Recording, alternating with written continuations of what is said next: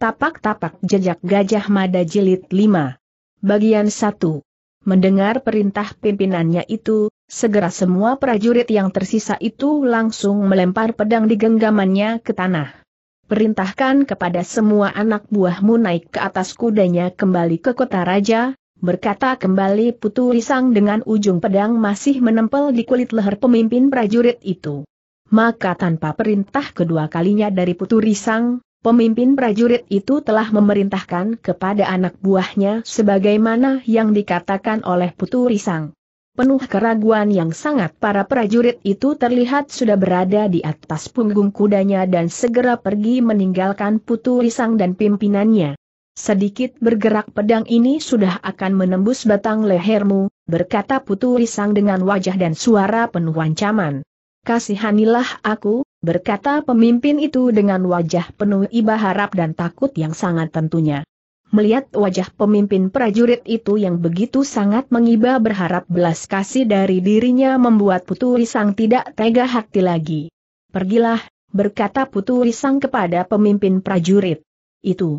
Mendengar perkataan Putu Risang, Pemimpin prajurit itu seperti mendapatkan kembali selembar nyawanya yang dipikir akan lepas dari tubuhnya.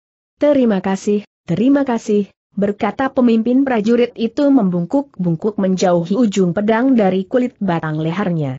Terlihat Putu Risang tersenyum sendiri melihat debu mengepul di belakang kuda pemimpin prajurit itu yang sudah berlari menjauh kembali ke kota Raja Kediri. Bulan masih terlihat terpotong. Langit malam menggelantung memayungi bumi senyap sepi, hanya dengung suara malam yang terus terdengar mengisi gelap pekat sebuah hutan berbukit. Terlihat seorang pemuda masih terus berjalan menuntun seekor kuda. Ketika pemuda itu berada di atas sebuah tanah lapang datar di antara jalan mendaki, sedikit sinar bulan menerangi wajah pemuda itu yang ternyata adalah Putu Risang. Dengan terpaksa Putu Risang memilih jalan melambung menghindari jalan yang biasa dilalui oleh banyak orang, memilih jalan melintasi sebuah bukit dan hutan agar para prajurit Kediri yang diyakini akan kembali mengejarnya tidak akan dapat mengikutinya. Setelah merasa sudah melewati perjalanan yang cukup jauh, barulah Putu Risang berniat untuk beristirahat sejenak. Terlihat Putu Risang telah bersandar di sebuah batu besar sedikit terhindar dari terpaan angin dingin malam di atas bukit berhutan itu. Perlahan tapi pasti, warna langit berangsur-angsur berubah warna sedikit memerah dipancari sumber cahaya kuning keemasan dari ujung timur bumi, Seng Fajar memang baru terbangun mengintip di ujung lengkung langit timur. Perlahan terdengar suara ayam hutan saup di kejauhan saling bersahutan dan Putu Risang terlihat mulai menggeliat membuka matanya. Namun pendengarannya yang sudah terlatih seperti mendengar beberapa suara. Terlihat Putu Risang dengan sigapnya bersembunyi di sebuah sela-sela batu, sementara kudanya sudah diikat di sebuah tempat yang tersembunyi. Jejaknya menuju ke arah ini, berkata seseorang yang berjalan nampak paling memuka diikuti beberapa orang yang mulai terlihat muncul dari jalan yang menurun. Para prajurit Kediri, berkata Putu Risang dalam hati mengintip dari sela-sela batu. Sebagaimana yang dilihat oleh Putu Risang, ternyata sudah ada sekitar 20 orang prajurit Kediri tengah berjalan, di depan mereka nampaknya adalah seorang ahli pencari jejak. Terlihat Putu Risang menarik nafas panjang manakala para prajurit Kediri itu melewati begitu saja tempatnya bersembunyi. Maka ketika dianggapnya keadaan sudah menjadi aman, para prajurit itu sepertinya sudah pergi jauh, terlihat Putu Risang keluar dari persembunyiannya dan segera mengambil kudanya yang juga telah disembunyikan di sebuah tempat. Segera Putu Risang terlihat sudah menuntun kudanya berjalan sedikit menyimpang dari arah para prajurit kediri masuk lebih dalam lagi ke dalam hutan dan Putu Risang sudah masuk menghilang di telan kelebatan hitam belantara hutan di keremangan warna pagi yang masih dingin itu. Tidak terasa matahari pagi sudah mulai naik merayapi lengkung langit, beberapa cahayanya terlihat menembus di sela-sela daun dan dahan pepohonan di kedalaman hutan yang lebat itu. Hari di dalam hutan lebat itu sudah mulai terang pagi.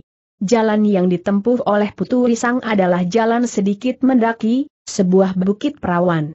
Akhirnya, Putu Risang mulai sedikit lega ketika mulai melihat kerapatan pohon semakin berkurang, dan akhirnya telah tiba di ujung muka hutan itu berupa sebuah tanah datar dengan hanya satu dua buah pohon yang terlihat tumbuh di antara sela-sela batu cadas. Dan Putu Risang terlihat sudah berdiri di atas sebuah puncak bukit, Ternyata ujung muka hutan itu berakhir di sebuah puncak bukit yang cukup tinggi di mana di hadapannya adalah sebuah jalan menurun yang cukup terjal berupa tanah cadas keras berbatu.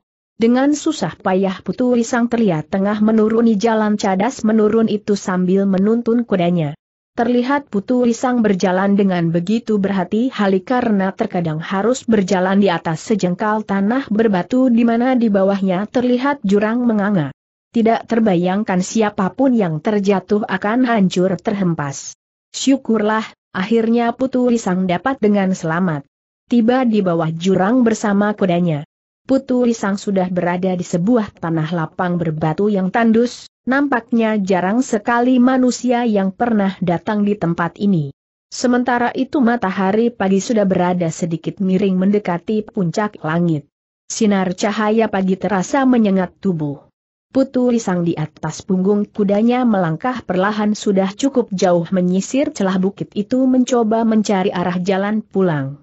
Arah timur matahari. Begitulah Putu Risang mencari arah jalan kembali ke bumi Majapahit.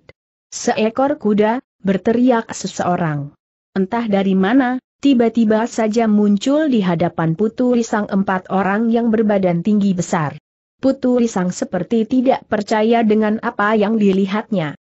Apa yang membuat Putu Risang seperti menemukan sesuatu yang aneh di hadapannya?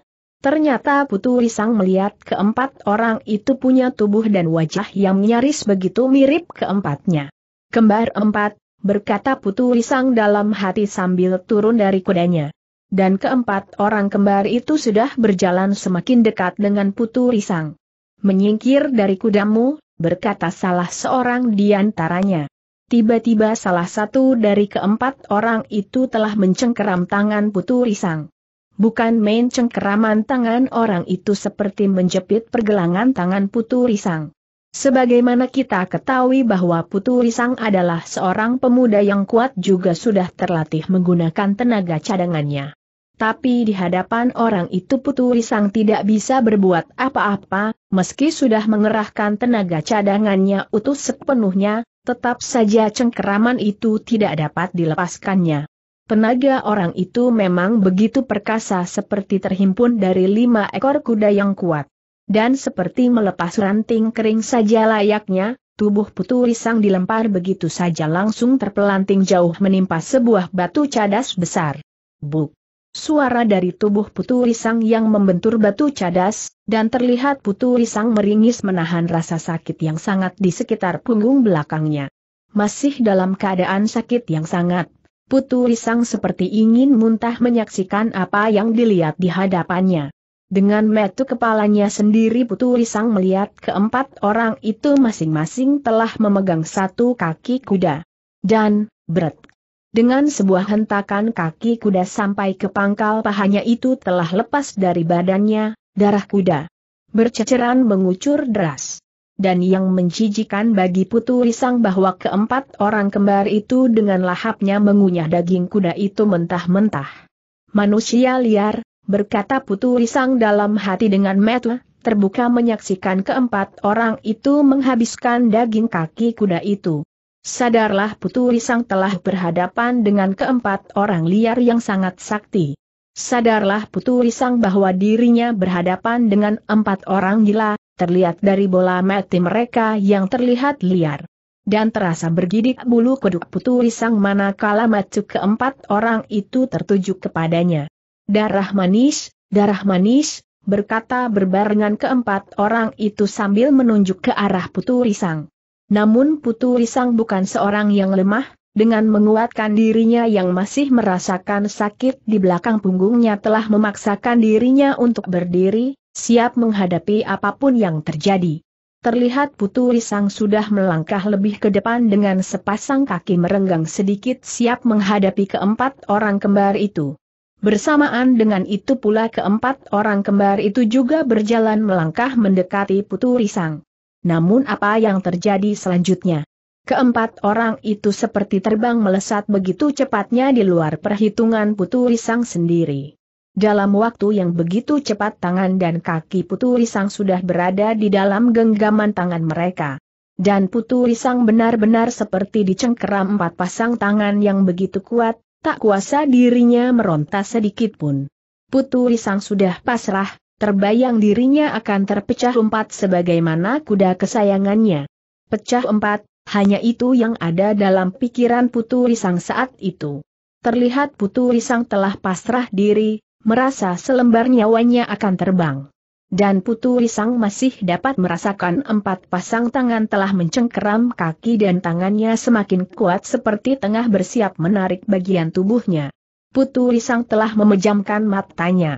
Namun baru saja Putu Risang memejamkan matanya bersiap menahan rasa sakit yang sangat membayangkan empat bagian kaki dan tangannya lepas dari badannya, terdengar sebuah bentakan memekakkan gendang telinganya. Lepaskan, terdengar suara yang keras melengking. Terkejut Putu Risang membuka matanya. Baru saja Putu Risang membuka matanya dirasakan keempat tangan orang kembar itu telah mengurangi cengkeramannya. Buk! Tubuh Putu Risang telah terlepas jatuh di tanah.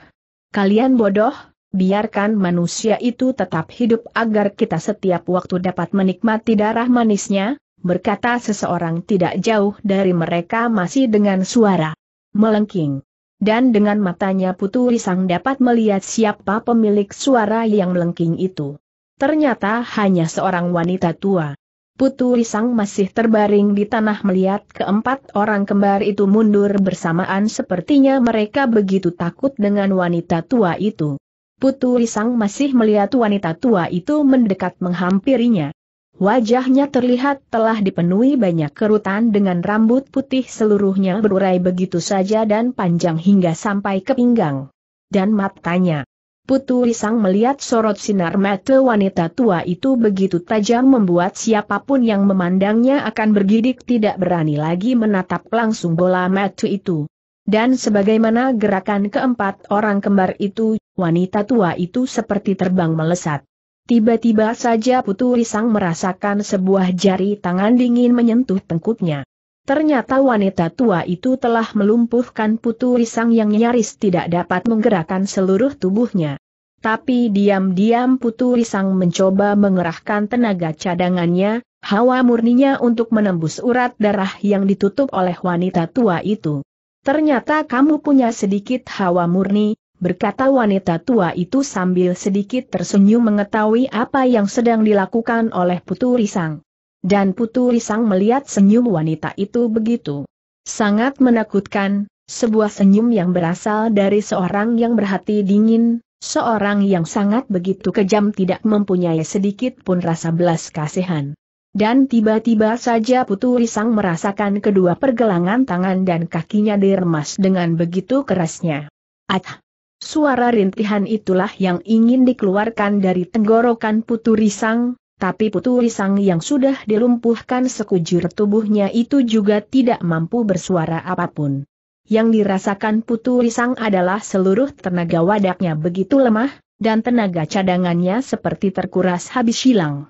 Bawa manusia ini ke dalam goa, jaga sampai tiba saatnya bulan purnama agar kita dapat berpesta menikmati manis darahnya, berkata wanita tua itu terdengar di telinga Putu Risang. Dan putu risang seperti seonggok daging hewan buruan yang lemas tidak berdaya terlihat tengah diseret begitu saja oleh salah satu dari keempat orang kembar membawanya masuk ke dalam sebuah goa yang tidak begitu jauh dari tempat awal pertama kali putu risang melihat mereka. Ternyata mereka bertempat tinggal di sebuah goa. Terlihat putu risang masih diseret masuk lebih dalam lagi ke sisi goa yang berujung buntu. Di situlah Putu Risang ditinggal tergeletak tidak berdaya seorang diri. Meski tenaganya terasa hilang tak berdaya, Putu Risang masih mampu melihat keadaan suasana goa di mana dirinya seorang diri ditinggalkan. Masih ada sedikit cahaya berasal dari muka goa. Membuat Putu Risang dapat melihat sekeliling dirinya. Bergidik bulu kuduk Putu Risang melihat ada beberapa tulang belulang di sekitarnya. Di sinilah mereka membantai korbannya, berkata Putu Risang dalam hati sambil membayangkan bahwa lambat atau cepat dirinya akan menjadi korban berikutnya. Ternyata petualanganku hanya sampai di sini, berkata kembali Putu Risang dalam hati masih dalam keadaan tergeletak tidak mampu menggerakkan sedikit pun anggota tubuhnya. Dan akhirnya Putu Risang merasakan suasana goa itu menjadi semakin gelap gulita. Ternyata sumber cahaya di luar goa telah mulai mendekati waktu sandikala. Matahari di luar goa sudah mulai hilang sembunyi di balik bumi. Dan akhirnya hari memang telah jatuh malam dan akhirnya mata Putu Risang sudah tidak mampu lagi melihat apa pun. Putu Risang memang sudah tidak melihat apa pun, juga mendengar apa pun. Anak muda itu tidak sadar memang telah tertidur dalam keadaan diri lumpuh seluruh aurat syarafnya. Sementara itu sang malam di luar gua seperti tengah menggulung sangkala lebih perlahan dari lari seekor ciput sekalipun. Tidak terlihat bintang, tapi tidak juga tertanda hujan akan turun karena angin dingin begitu deras menggiring awan hitam. Yang ada di atas langit hitam hanya sepotong bulan belum bulat sempurna. Dan akhirnya Seng Bulan terlalu lelah menjaga malam, perlahan sedikit demi sedikit seperti ciput berlari terjatuh di ujung bibir bumi datar. Pagi sudah hadir di atas bibir goa dan para penghuni goa itu sudah terlihat menggeliat terbangun, juga Putu Risang yang berada di ujung goa buntu. Seni melumpuhkan urat syaraf wanita tua itu memang begitu hebat dan sangat kuat. Tapi seiring perjalanan waktu daya lumpuhnya semakin pudar. Terlihat Putu Risang sudah mulai mampu menggerakkan seluruh anggota tubuhnya. Putu Risang sudah mulai menangkap suara-suara para penghuni goa itu yang berada di ujung sebelah bibir goa, tapi tidak terlalu lama suara mereka telah hilang begitu saja dari pendengaran Putu Risang. Karena memang mereka telah keluar semuanya dari dalam goa.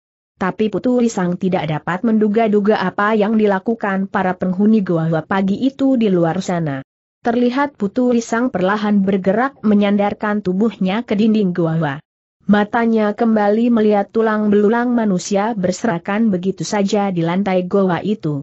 Meta Putu Risang mulai menyisir seluruh isi goa, tidak dilihat satupun alat atau barang di sekitarnya kecuali lima buah mangkuk terbuat dari batu. Mangkuk tempat darah, berkata Putu Risang dalam hati mengingat kembali ucapan wanita tua itu bahwa mereka akan mengadakan pesta minum darah.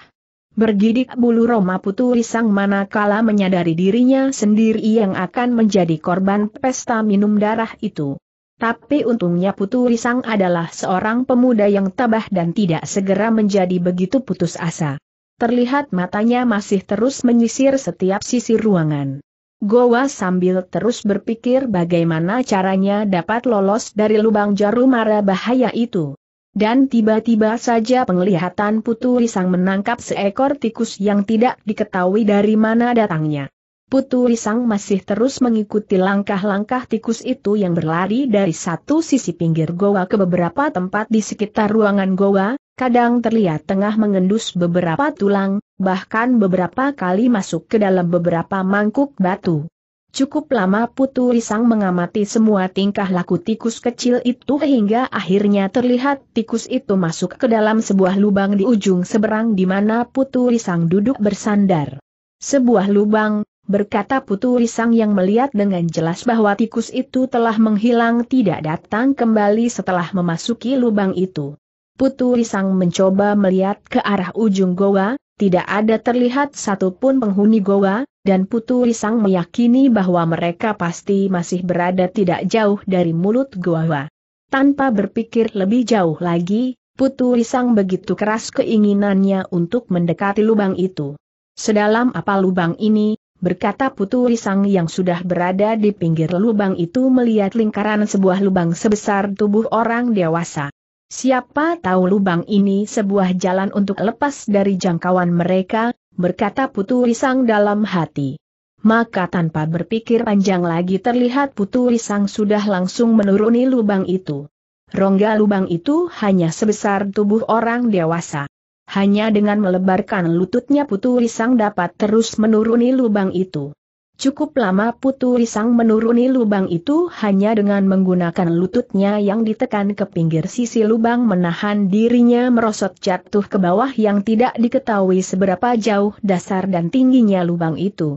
Hingga akhirnya Putu Risang mendapatkan rongga lubang itu semakin melebar, dan kaki Putu Risang yang direntangkan juga tidak mampu lagi menjangkaunya. Lubang itu sangat gelap pekat, Mata Putu Risang tidak dapat melihat dasar lubang itu. Sementara itu tenaga Putu Risang sebagaimana diketahui sudah dibuat cacat tidak lagi mempunyai tenaga cadangan, hanya dengan mengandalkan tenaga wadah yang punya daya ketahanan terbatas mencoba tetap bertahan di dalam lubang itu, menggelantung di antara kedua kakinya. Putu Risang masih tetap bertahan bergelantung di dalam lubang hanya dengan mengandalkan ketahanan kedua kakinya terlihat peluh deras mengalir membasahi sekujur tubuh pemuda itu. Cukup lama Putu Risang menggelantung di lubang itu dan tidak ada niatan untuk kembali naik ke atas mulut lubang. Dan Putu Risang merasakan tenaganya sudah semakin melemah, sementara dinding lubang terasa menjadi semakin licin. Hingga akhirnya pemuda itu sudah tidak dapat lagi bertahan dari kelicinan dinding lubang itu. Bless! Kaki dan tubuh Putu Risang telah terlepas merosot. Terjatuh meluncur di antara rongga dinding goa itu. Tubuh Putu Risang masih saja terus meluncur, namun keberanian anak muda itu memang patut dibanggakan, tidak membiarkan matanya terpejam sedikit pun masih terus mencari jalan. Putu Risang tidak mendapatkan apa pun yang dapat digapai dengan tangannya, hingga akhirnya dirasakan tubuhnya terhempas di atas air. Belum. Putu Risang tercebur di atas air di dasar lubang itu. Seluruh tubuhnya terlihat hilang di dalam air itu. Masih dalam kesadaran utuh, Putu Risang merasakan kakinya telah menyentuh dasar air itu, maka segera dihentakkan kakinya untuk dapat meluncur ke atas permukaan air. Ternyata air itu tidak begitu dalam meski juga tidak dikatakan sangat dangkal, akhirnya Putu Risang sudah dapat mencapai permukaan air. Dengan mata terbuka Putu Risang mencoba menyapu pandangannya untuk dapat melihat sekeliling dirinya. Dan Putu Risang dapat melihat suasana yang gelap mencoba membiasakan penglihatannya. Akhirnya masih dalam keadaan berenang terapung di atas permukaan air, mata Putu Risang sudah mulai terbiasa di kegelapan, sudah dapat melihat sekeliling dan menangkap parah tepian yang terdekat. Ternyata Putu Risang terjatuh di atas sebuah lingkaran kubangan mata air cukup lebar yang merupakan dasar lubang goa itu. Tak terbayangkan bila saja dasar lubang goa itu adalah sebuah batu cadas, akibatnya tubuh pemuda itu sudah pasti akan terhempas dengan keras, hancur. Terlihat pemuda itu sudah berada di tepi kubangan mata air langsung mengangkat tubuhnya keluar dari air. Kubangan mata air, berkata Putu Risang sambil menarik nafas panjang merasa dirinya telah diselamatkan. Namun naluri kewaspadaan pemuda itu terus terjaga, mencoba mengamati keadaan sekitarnya. Putu Risang ternyata menyadari dirinya berada di sebuah goa yang cukup luas dengan sebuah kubangan mata air di tengahnya. Putu Risang terus mengamati sekeliling setiap sudut goa itu. Dan tiba-tiba saja matanya tertahan ke suatu tempat. Bukan main terperanjatnya Putu Risang melihat sesuatu yang begitu aneh dalam pandangan matanya. Apa gerangan yang dilihat oleh Putu Risang? Putu Risang melihat seonggok tubuh kutung kedua tangan dan kakinya. Dan yang lebih membuat dirinya terperanjat lagi bahwa manusia tanpa kaki dan tangan itu juga tengah memandangnya. Dua pasang mata, tengah beradu pandang.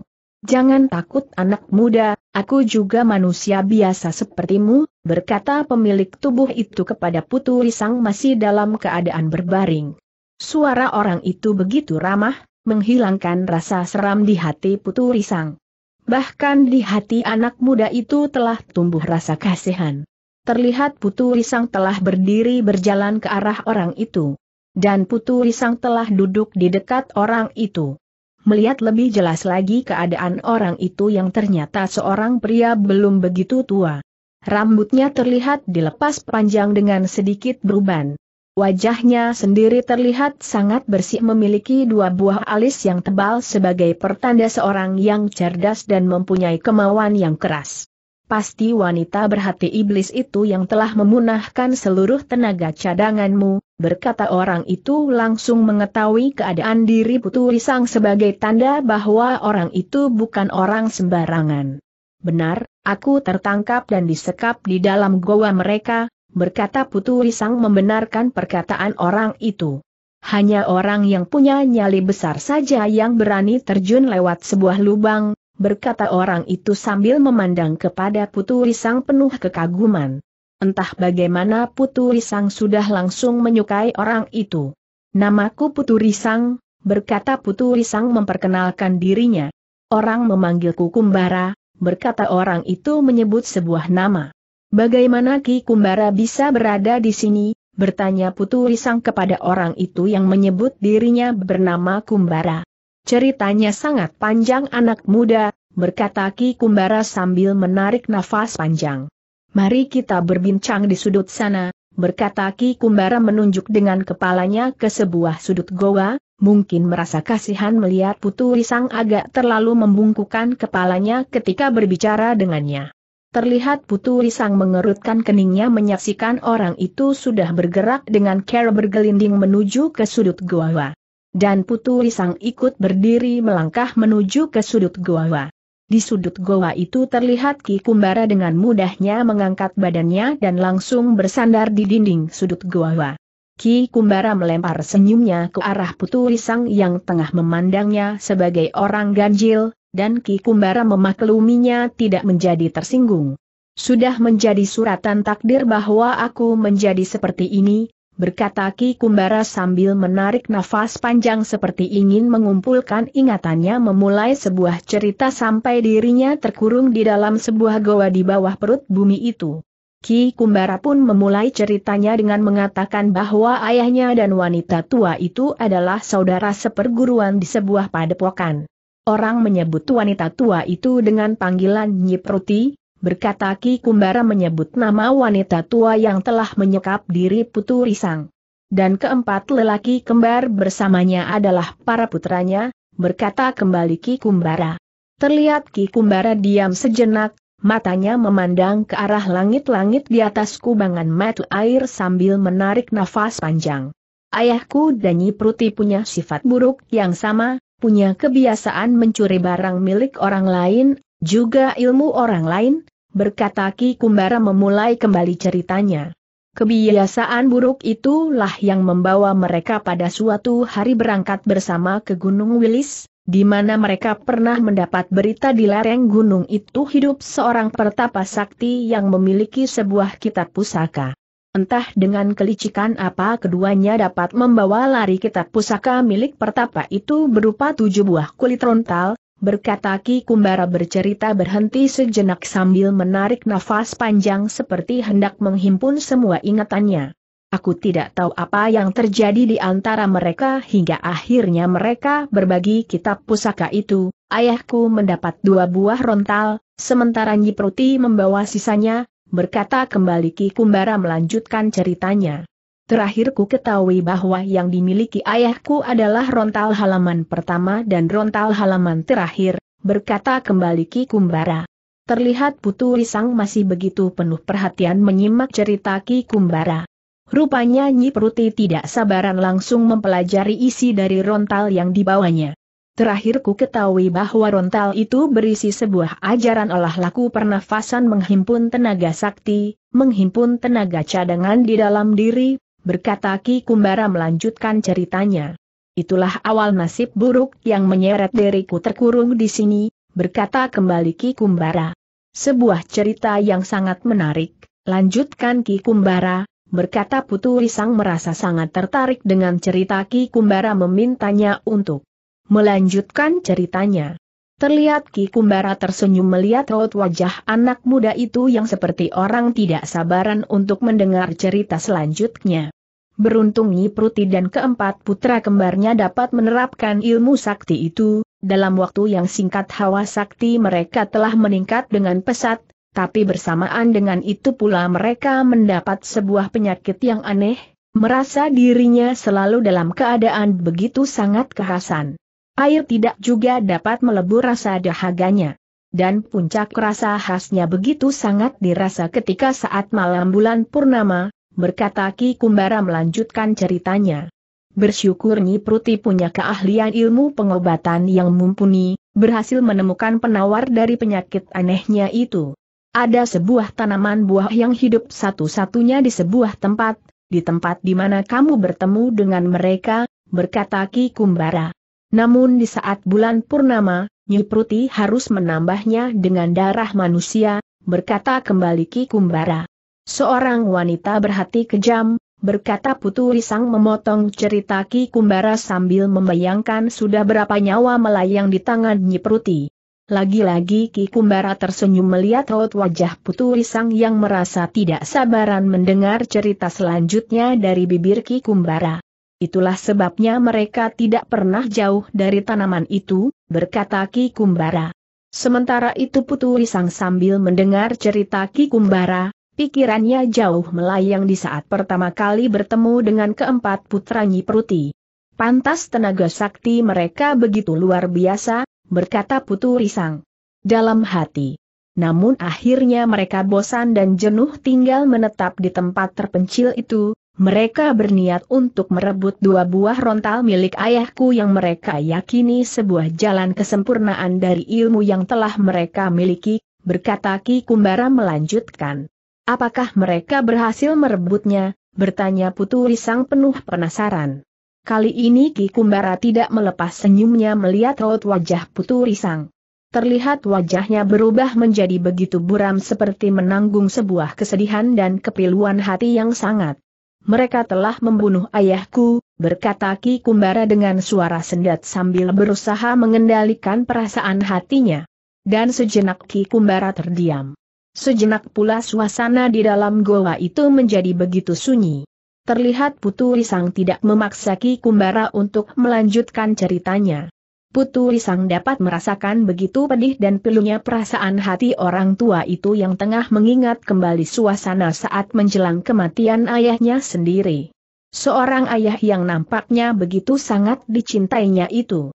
Terlihat wajah Ki Kumbara sudah kembali jernih, Nampaknya orang tua itu sudah dapat mengendalikan perasaannya sendiri. Untungnya sebelum tewas, ayahku telah menitipkan dua rontal itu kepadaku dan meminta aku pergi jauh. Tapi aku tidak mengindahkan perintah terakhir ayahku itu, bahkan aku sempat menempur mereka. Celakanya aku hampir tewas di tangan mereka hingga tertolong oleh sebuah kecerdikan yang tiba-tiba saja muncul di benakku ini, berkata Ki Kumbara melanjutkan ceritanya, berhenti sejenak sambil melihat wajah Putu Risang yang terlihat semakin penasaran mendengar kelanjutan cerita Ki Kumbara yang sangat mendebarkan itu. Kecerdikan apa yang muncul di benak Ki Kumbara, bertanya Putu Risang tidak sabaran. Karena merasa tidak akan mungkin dapat mengalahkan mereka, maka di depan mata mereka telah kulumat kedua rontal itu hancur masuk ke dalam perutku sendiri. Bukan main marahnya mereka, tapi tidak dapat berbuat apa pun terhadapku. Akhirnya mereka membawaku ke tempatnya mencoba menyiksaku dengan berbagai cara, berkata Ki Kumbara sambil menarik nafas panjang. Terakhir mereka telah menguntungi tangan dan kakiku ini, berkata Ki Kumbara melanjutkan. Dan Ki Kumbara akhirnya punya pikiran yang sama sebagaimana aku, terjun ke lubang dan terkurung di gua ini, berkata Putu Risang mencoba menebak akhir cerita Ki Kumbara. Kamu benar, pada saat itu aku berpikir bahwa satu iblis saja dunia sudah begitu rusuh, bagaimana bila ditambah dengan lima orang berhati iblis dapat memiliki kesempurnaan ilmunya. Dengan pikiran itulah aku nekat terjun ke lubang sebagaimana dirimu, berkata Ki Kumbara membenarkan perkataan Putu Risang. Coba tebak apa yang kutemui di dalam gua ini, Bertanya Ki Kumbara kepada Putu Risang sambil tersenyum. Putu Risang tidak menjawab apa pun, karena dirinya memang tidak mampu menemukan jawaban pertanyaan Ki Kumbara. Siapa pun tidak akan menyangka bahwa aku menemukan lima buah rontal mengambang di atas kubangan matu air itu. Mungkin mereka merasa putus asa membuang lima rontal potongan dari tujuh rontal ilmu sakti ke dalam lubang, berkata Ki Kumbara menjawab pertanyaannya sendiri. Ki Kumbara menemukan kelima rontal itu, berkata Putu Risang. Benar, bahkan aku telah melihat seluruh rontal kitab pusaka pertapa sakti dari Gunung Wilis itu, karena sebelum dua rontal pemberian ayahku hancur masuk ke dalam perutku, aku sudah sempat melihat dan memahatnya di dalam ingatanku, berkata Ki Kumbara penuh kegembiraan dapat mempertahankan dua rontal pecahan kitab ilmu sakti tidak jatuh ke tangan Nyi Pruti dan keempat putra kembarnya itu. Apakah Ki Kumbara akhirnya dapat mempelajari dan menerapkan ilmu kitab sakti itu? Bertanya Putu Risang mencoba menebak akhir cerita Ki Kumbara tapi Ki Kumbara tidak segera menjawab pertanyaan Putu Risang, hanya bibirnya saja yang terlihat tersenyum hambar. Ilmu kitab pusaka pertapa Gunung Wilis itu hanya untuk mereka yang memiliki kesempurnaan anggota tubuh, berkata Ki Kumbara perlahan. Dan Putu Risang sepertinya mengerti apa yang dirasakan oleh orang tua di dekatnya itu, sebuah kegundahan hati dan ketidakpercayaan diri memiliki cacat seperti dirinya. Itulah sebabnya Putu Risang ikut berdiam diri, tidak lagi bertanya apa pun. Sejenak suasana di dalam goa itu kembali menjadi sunyi. Tidak terdengar suara apa pun. Ternyata takdir telah membawamu kemari, kamulah anak muda yang paling tepat memiliki ilmu sakti itu, berkata Ki Kumbara memecahkan keheningan suasana di dalam goa. Putu Risang melihat kembali kejernihan wajah orang tua itu. Aku, kenapa harus aku? Bertanya Putu Risang tidak mengerti mengapa dirinya yang dikatakan paling cocok untuk memiliki ilmu kitab sakti itu. Aku telah mempelajari seluruh isi kitab itu, akhirnya aku dapat mengerti mengapa Nyiproti dan keempat putranya setelah menerapkan ilmu ini merasakan rasa dahaga yang sangat ini karena mereka tidak membaca peringatan yang ada di rontal pertama dari kitab ini yang mengingatkan bahwa untuk memulai olah laku ilmu ini harus mengosongkan dulu hawa murni mereka sebagaimana seorang bayi yang tidak punya apa pun. Dan Nyipruti telah mengosongkan dirimu dengan menciderai simpul syarafmu menjadikan dirimu saat ini seperti layaknya seorang bayi, berkata Ki Kumbara menjelaskan. Sebagai seorang yang pernah mempelajari ilmu olah laku pernafasan, Putu Risang dapat menangkap penjabaran dari Ki Kumbara. Sebenarnya Nyi Pruti dapat keluar dari penderitaannya bila saja dapat melihat isi dari rontal penutup, sebuah carol laku menutup keliaran dua buah hawa sakti di dalam diri mereka, berkata Ki Kumbara menambahkan. Selama mereka menderita selama itu pula masih terus bertambah manusia yang akan menjadi korban kebiadaban mereka, berkata Putu Risang membayangkan kekejaman Nyi Pruti dan keempat putranya itu. Ketika aku melihatmu, aku seperti menemukan sebuah cahaya di kegelapan. Aku begitu yakin bahwa dirimu adalah orang baik. Ku sandarkan harapanku kepadamu, menghentikan kebiadaban Nyi Pruti dan putranya. Putu Risang baru dapat mengerti bahwa Ki Kumbara telah bermaksud memberikan isi kitab itu kepadanya. Terima kasih atas kepercayaan ini, semoga aku dapat menjaganya di atas bahuku dan dapat menjunjungnya sebagaimana menjunjung rambutku. Kesetiaan dan kehormatan semoga terus ku pegang harapanmu, berkata Putu Risang sambil merangkapkan kedua tangannya di dada sebagai sebuah penghormatan atas kepercayaan dan harapan dari Ki Kumbara. Ambilkan untukku kelima rontal di sebarang sana untukku, berkata Ki Kumbara. Terlihat Putu Risang sudah berjalan ke seberang goa dengan cara mengelilingi setengah pinggir tepi kubangan air. Di seberang sana memang tergeletak lima buah kulit rontal. Dan Putu Risang telah membawanya untuk Ki Kumbara. Pahatlah kelima rontal dalam ingatanmu, berkata Ki Kumbara kepada Putu Risang. Segera Putu Risang mengamati dan mempelajari kelima rontal itu yang ternyata hanya berupa lima buah lukisan kasar sikap laku orang yang berbeda. Pada lukisan rontal pertama, Putu Risang melihat lukisan sebuah laku orang berdiri dengan kedua tangannya menutup di atas pusarnya. Rontal kedua, Putu Risang melihat sebuah laku orang tengah menunduk tegak lurus dada dan punggungnya membuat sebuah siku dan kedua tangannya bertumpu di atas setiap pangkal lututnya. Rontal ketiga nampaknya lukisan yang sama dengan rontal pertama, hanya kedua tangannya jatuh di sisi tubuhnya. Rontal keempat, Putu Risang melihat lukisan orang yang tengah bersujud. Pada rontal terakhir, Putu Risang melihat lukisan orang yang duduk bersimpuh di atas tumit kakinya. Telapak tangan kiri rapat di atas paha kaki kirinya, sementara tangan kanan di atas paha kanannya dengan jari telunjuk terlihat lurus menunjuk ke depan. Beberapa kali Putu Risang membolak-balikan halaman demi halaman kelima rontal itu, berusaha memahatnya di atas ingatannya. Aku sudah memahatnya di dalam ingatanku, berkata Putu Risang kepada Ki Kumbara setelah merasa dapat benar-benar menyimpan kelima rontal di dalam ingatannya. Perlihatkan kepadaku kelima gerakan di dalam rontal itu, berkata Ki Kumbara kepada Putu Risang memintanya melakukan gerakan sesuai yang ada di dalam lukisan kelima rontal itu.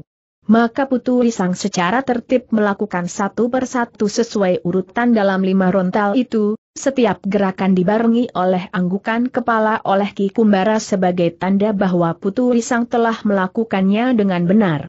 Kamu telah melakukannya dengan benar, Saatnya aku akan memberimu dua buah rontal awal dan akhir dari isi.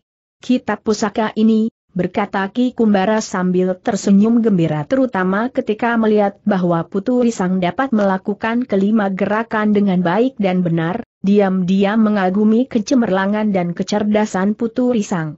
Tidak seperti kelima lontar ini, dua buah rontal awal dan akhir isi kitab ini berupa sebuah kalimat yang harus kita pahami bersama, berkata Ki Kumbara kepada Putu Risang. Maka terlihat Ki Kumbara mengucapkan kalimat demi kalimat yang sudah dihafal dan dipahaminya terpahat dengan jelas di dalam ingatannya isi dari kedua kulit rontal yang pernah dilumatnya habis. Terlihat Putu Risang menyimak kata demi kata semua yang diucapkan oleh Ki Kumbara. Coba kamu ulangi isi kalimat rontal pertama, berkata Ki Kumbara kepada Putu Risang meminta anak muda itu mengulang kembali di hadapannya isi dari kalimat rontal pertama. Tidak akan menyentuh apa pun dari kitab ini kecuali dia yang bersih, berkata Putu Risang di hadapan Ki Kumbara mengulangi kalimat yang ada di dalam rontal pertama. Ulangi kalimat pada rontal ketujuh, berkata Ki Kumbara kepada Putu Risang. Tengoklah olehmu ke kiri dan kananmu, niscaya kamu selamat sejahtera, berkata Putu Risang mengulangi isi dari rontal ketujuh. Bagus, nampaknya kamu sudah dapat menghafal dengan sempurna seluruh isi dari kitab pusaka ini. Akan lebih mudah bagi kita untuk dapat belajar dan memahaminya isi dari ketujuh rontal ini, berkata Ki Kumbara terlihat penuh gembira mendapatkan putu risang yang dengan mudahnya menghafal semua isi ketujuh rontal itu dengan sempurna. Setelah berkata, terlihat Ki Kumbara memberikan penjelasan secara rinci isi dari setiap rontal itu. Sebagai seorang yang pernah mempelajari dan memahami sebuah laku olah pernafasan membuat Putu Risang tidak mengalami banyak kesulitan.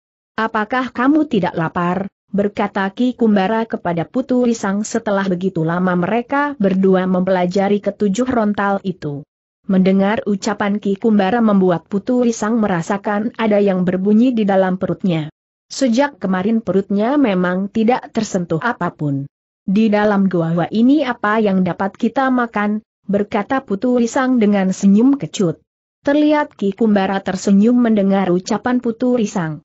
Tengoklah, berkata Ki Kumbara sambil menunjuk dengan gerakan kepalanya ke arah kiri mereka. Putu Risang mengikuti arah yang ditunjukkan oleh Ki Kumbara, meski dalam keadaan penuh remang-remang namun mata Putu Risang yang sudah terbiasa melihat di dalam kegelapan goa itu dapat melihat bahwa ada sebuah tanaman merambat di ujung sudut kiri goa itu. Tanaman yang sama yang hidup tumbuh sebagai obat penawar dahaga di tempat kediaman Nyi Pruti, berkata Ki Kumbara kepada Putu Risang. Tanpa diperintah Putu Risang sudah berdiri melangkah ke arah tanaman yang tumbuh di sudut goa itu. Ternyata, sebuah tumbuhan merambat dengan buah sebesar ibu jari berwarna hitam. Terlihat Putu Risang memetik beberapa buah dan membawanya ke dekat Ki Kumbara. Terlihat Ki Kumbara telah mendekatkan kepalanya dan mengambil buah itu langsung dengan mulutnya. Terlihat Ki Kumbara telah mengunyah buah itu di dalam mulutnya. Sementara Putu Risang memperhatikannya dengan hati penuh iba. Kenapa hanya melihat, apa kamu tidak lapar, berkata Ki Kumbara kepada Putu Risang. Putu Risang terlihat sudah ikut makan buah itu. Ternyata buah itu dirasakan oleh Putu Risang sangat begitu manis, baru tiga buah masuk ke mulutnya, Putu Risang merasakan di perutnya sudah cukup mengganjal. Sementara itu suasana siang dan malam di dalam goa itu memang tidak ada bedanya, hanya naluri mereka sajalah sebagai manusia yang dapat membedakannya.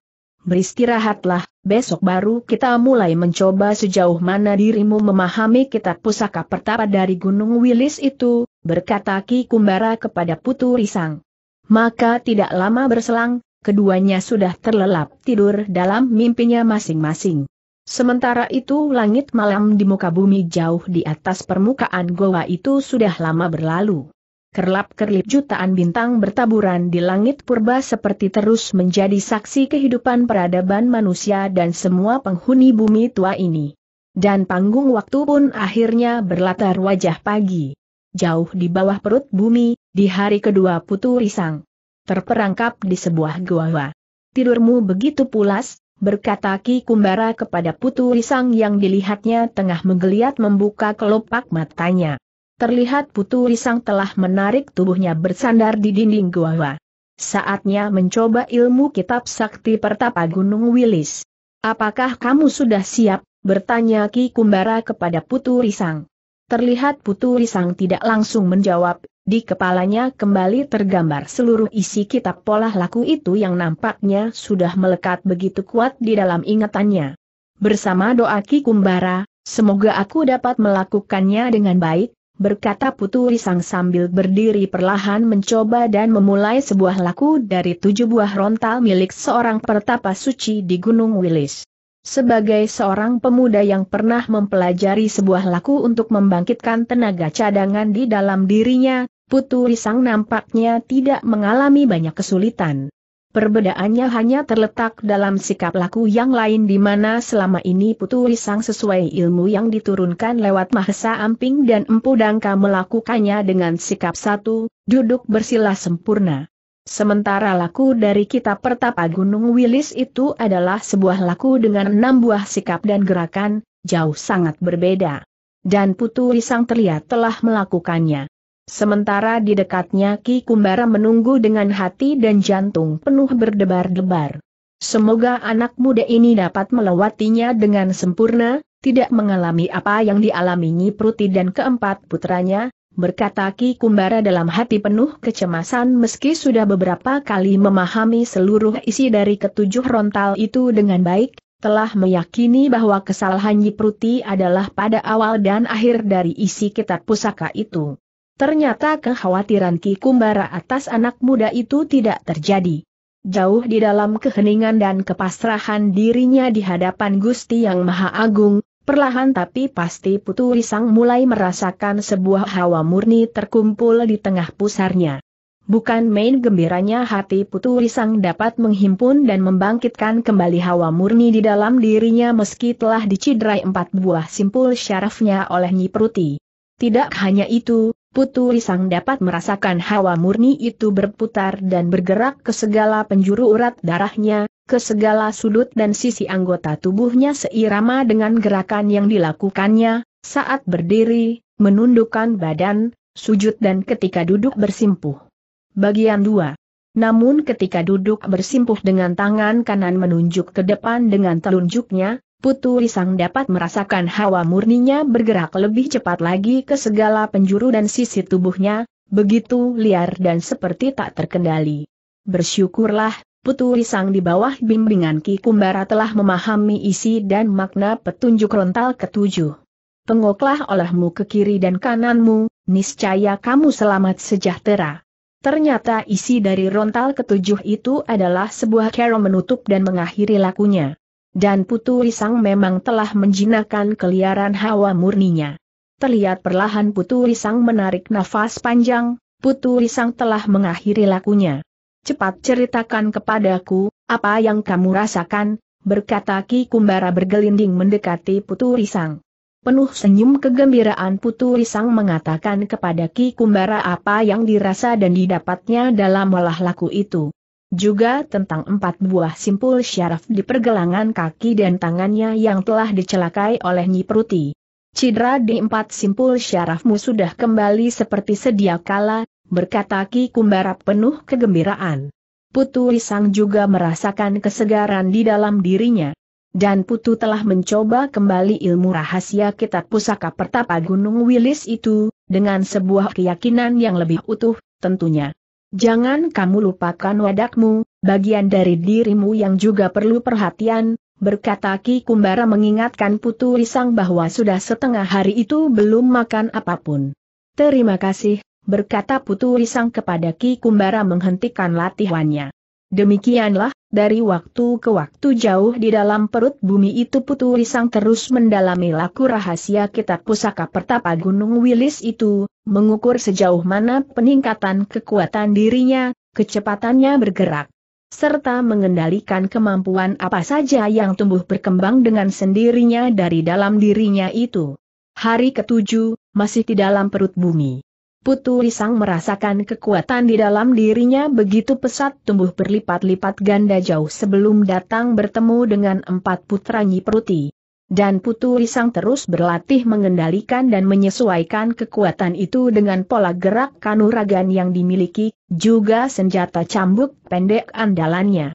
Dengan kekuatan tenaga cadangan yang dimiliki, Putu Risang telah mampu lebih dahsyat lagi menyerap hawa panas dan hawa dingin di luar tubuhnya menjadi sebuah sumber kekuatan yang luar biasa dilontarkan keluar dari hampir seluruh tubuhnya. Bahkan Putu Risang telah mampu mengalirkan tenaga hawa panas lewat ujung cambuk senjata andalannya. Dengok! Terdengar suara lecut sendal pancing dari tangan Putu Risang tertuju ke arah kubangan matu air di goa itu.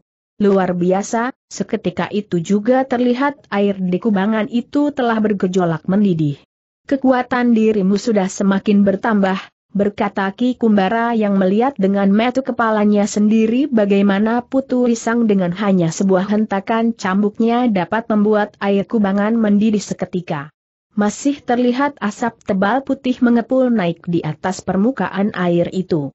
Ini semua juga berkat bimbingan dari Ki Kumbara, berkata Putu Risang kepada Ki Kumbara dengan penuh rasa hormat.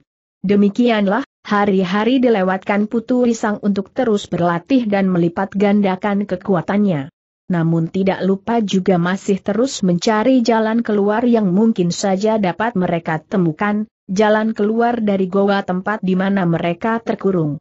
Tidak ada jalan lain kecuali lubang ke mana air itu mengalir, berkata Putu Risang sambil duduk di dekat Ki Kumbara. Sepertinya hanya jalan itu tempat keluar kembali ke alam bebas, berkata Ki Kumbara membenarkan pemikiran Putu Risang. Tidak ada salahnya bila kita mencoba, berkata Putu Risang kepada Ki Kumbara. Kita, berkata Ki Kumbara. Kamu saja yang keluar, biarlah aku tetap di sini, berkata kembali Ki Kumbara. Kita keluar bersama, kita akan terus bersama, berkata Putu Risang penuh harap Ki Kumbara dapat ikut bersamanya. Diriku yang cacat ini akan menyusahkan langkahmu, telah kutetapkan diriku selamanya di sini. Inilah karmaku tebusan atas segala perbuatan buruk ayahku selama hidupnya, berkata Ki Kumbara. Dan hari itu adalah hari ke-12, masih di dalam perut bumi di sebuah lubang goa yang tertutup. Putu Risang telah menetapkan hati untuk mencoba keluar dari lubang goa itu lewat celah air kubangan. Selamat jalan sahabat muda, berkata Ki Kumbara kepada Putu Risang dengan penuh senyum. Aku akan menepati janjiku, mencari dan menghentikan kekejaman Nyi Pruti dan keempat putranya, berkata. Putu Risang kepada Ki Kumbara. Doaku bersamamu, semoga keselamatan selalu menyertaimu, berkata Ki Kumbara kepada Putu Risang yang telah membalikan badannya ke arah kubangan mata air. Terlihat Putu Risang telah mendekati aliran air di ujung sebuah celah yang pernah diperiksanya cukup untuk ukuran tubuh orang dewasa. Blus! Dan Putu Risang sudah masuk menghilang tertelan lubang celah air itu. Ternyata air itu mengalir menurun di dalam sebuah rongga bumi, lama Putu Risang terbawa arus air itu. Beruntunglah bahwa Putu Risang bukan manusia biasa, bayangkan bila saja dirinya belum mendalami ilmu rahasia kitab pusaka pertapa Gunung Wilis itu maka sudah habislah riwayat anak muda dari Bali Dwipa ini. dirinya akan mati kehabisan udara, paru-parunya akan pecah dengan perut membuncit karena banyak menelan air. Beruntunglah, Putu Risang sudah memiliki kekuatan bukan orang dewasa, dirinya masih dapat menahan nafasnya yang masih terus terseret di bawah aliran air di dalam rongga bumi. Beruntunglah, bahwa ujung dari aliran air itu ternyata sebuah air jeram yang tidak begitu tinggi. Tidak terbayangkan bila mana aliran itu berujung di sebuah tempat sempit, kekuatan sebesar apa pun tidak akan mampu bertahan, dapat dipastikan tubuh Putu Risang akan membusuk di dalamnya. Jebur. Tubuh Putu Risang terlihat terhempas jatuh di atas sebuah telaga kecil di sebuah celah bukit yang dipenuhi rimbunnya pepohonan hijau. Terlihat Putu Risang sudah muncul di permukaan air telaga itu yang cukup dalam di bagian tempat jatuhnya air terjun, sementara di bagian pinggir telaga itu sangat dangkal dengan banyak terlihat batu-batu besar berwarna hitam licin berlumut. Sebuah pemandangan yang sangat indah, berkata Putu Risang dalam hati sambil menikmati suasana panorama alam di sekeliling dirinya sambil duduk di atas sebuah batu datar mencoba mengeringkan pakaian yang basah masih melekat di tubuhnya. Aku harus kembali jalan melingkar naik ke atas bukit ini, berkata Putu Risang dalam hati mencoba mencari arah jalan di mana dirinya pertama kali bertemu dengan empat lelaki kembar para putra Nyi Terlihat Putu Risang tengah mendaki sebuah bukit hijau, seperti seekor burung yang merdeka terlepas dari kurungan sangkarnya, Putu Risang begitu menikmati alam bebas setelah terkurung di perut bumi selama kurang lebih 12 hari. Akhirnya Putu Risang terlihat sudah sampai di atas puncak bukit itu, agak sulit memang mencari kembali arah jalan awal di mana dirinya bertemu dengan keempat putra Nyiproti, Awal dirinya terkurung di sebuah goa bertemu dengan Ki Kumbara.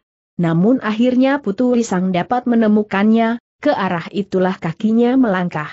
Sementara itu masih di tempat yang sama berlawanan arah dari langkah Putu Risang, terlihat seorang wanita tengah meronta menangis di panggul di atas tubuh seorang lelaki, bersama mereka masih ada tiga orang. Lelaki lain yang terus berjalan beriring. Ternyata keempat lelaki yang tengah membawa wanita tawanannya itu adalah empat putra Nyi Lepaskan aku, berteriak wanita itu meronta dan menangis. Tapi tidak ada sedikit pun rasa kasihan muncul di antara wajah empat lelaki itu, tetap saja wajah dingin tanpa perasaan yang terlihat di wajah mereka. Lepaskan wanita tak berdosa itu, berkata tiba-tiba seorang pemuda menghadang di hadapan mereka. Ternyata pemuda yang datang menghadang itu tidak lain adalah Putu Risang yang memang sengaja mencari keempat putra Nyiproti itu. Tawanan kita datang kembali, berkata lelaki yang tengah memanggul seorang wanita sambil tertawa penuh gembira langsung melempar tubuh wanita yang tengah dipanggulnya. Kasihan wanita itu, terlihat meringis memegang pinggulnya yang nampaknya begitu keras terhantam sebuah batu besar. Melihat itu telah membuat Putu Risang menjadi sangat geram. Manusia tidak beradab, berkata Putu Risang penuh kebencian. Keempat lelaki berwajah dingin itu tidak berkata apa pun, langsung bergeser mengepung Putu Risang yang dikatakan sebagai tawanan mereka yang hilang. Langsung, keempat putra Nyiproti itu sudah langsung menerkam Putu Risang secara bersamaan seperti berlomba saling mendahului. Gerak mereka begitu cepat, tapi untungnya Putu Risang bukan orang yang dulu lagi, dirinya telah mempelajari ilmu pusaka pertapa Gunung Wilis, jauh lebih sempurna dibandingkan mereka. Terlihat Putu Risang sudah dapat melejit keluar dari kepungan mereka dengan gerak yang lebih gesit. Begitulah berulang-ulang mereka mencoba mengepung dan menangkap anak muda itu, tapi Putu Risang dengan mudah dapat lolos dari kepungan mereka. Sadarlah Putu Risang bahwa keempat putra Nyiproti itu ternyata dasar kanuragan mereka masih jauh dari sempurna, mereka nampaknya hanya mengandalkan kecepatan dan kekuatan dirinya. Beberapa kali dalam sebuah benturan, Putu Risang mendapatkan kenyataan bahwa tataran kekuatan mereka sudah jauh tertinggal olehnya. Namun Putu Risang nampaknya belum yakin betul apakah tingkat tataran ilmu mereka sudah sampai pada puncaknya. Dan Putu Risang masih menjajakinya.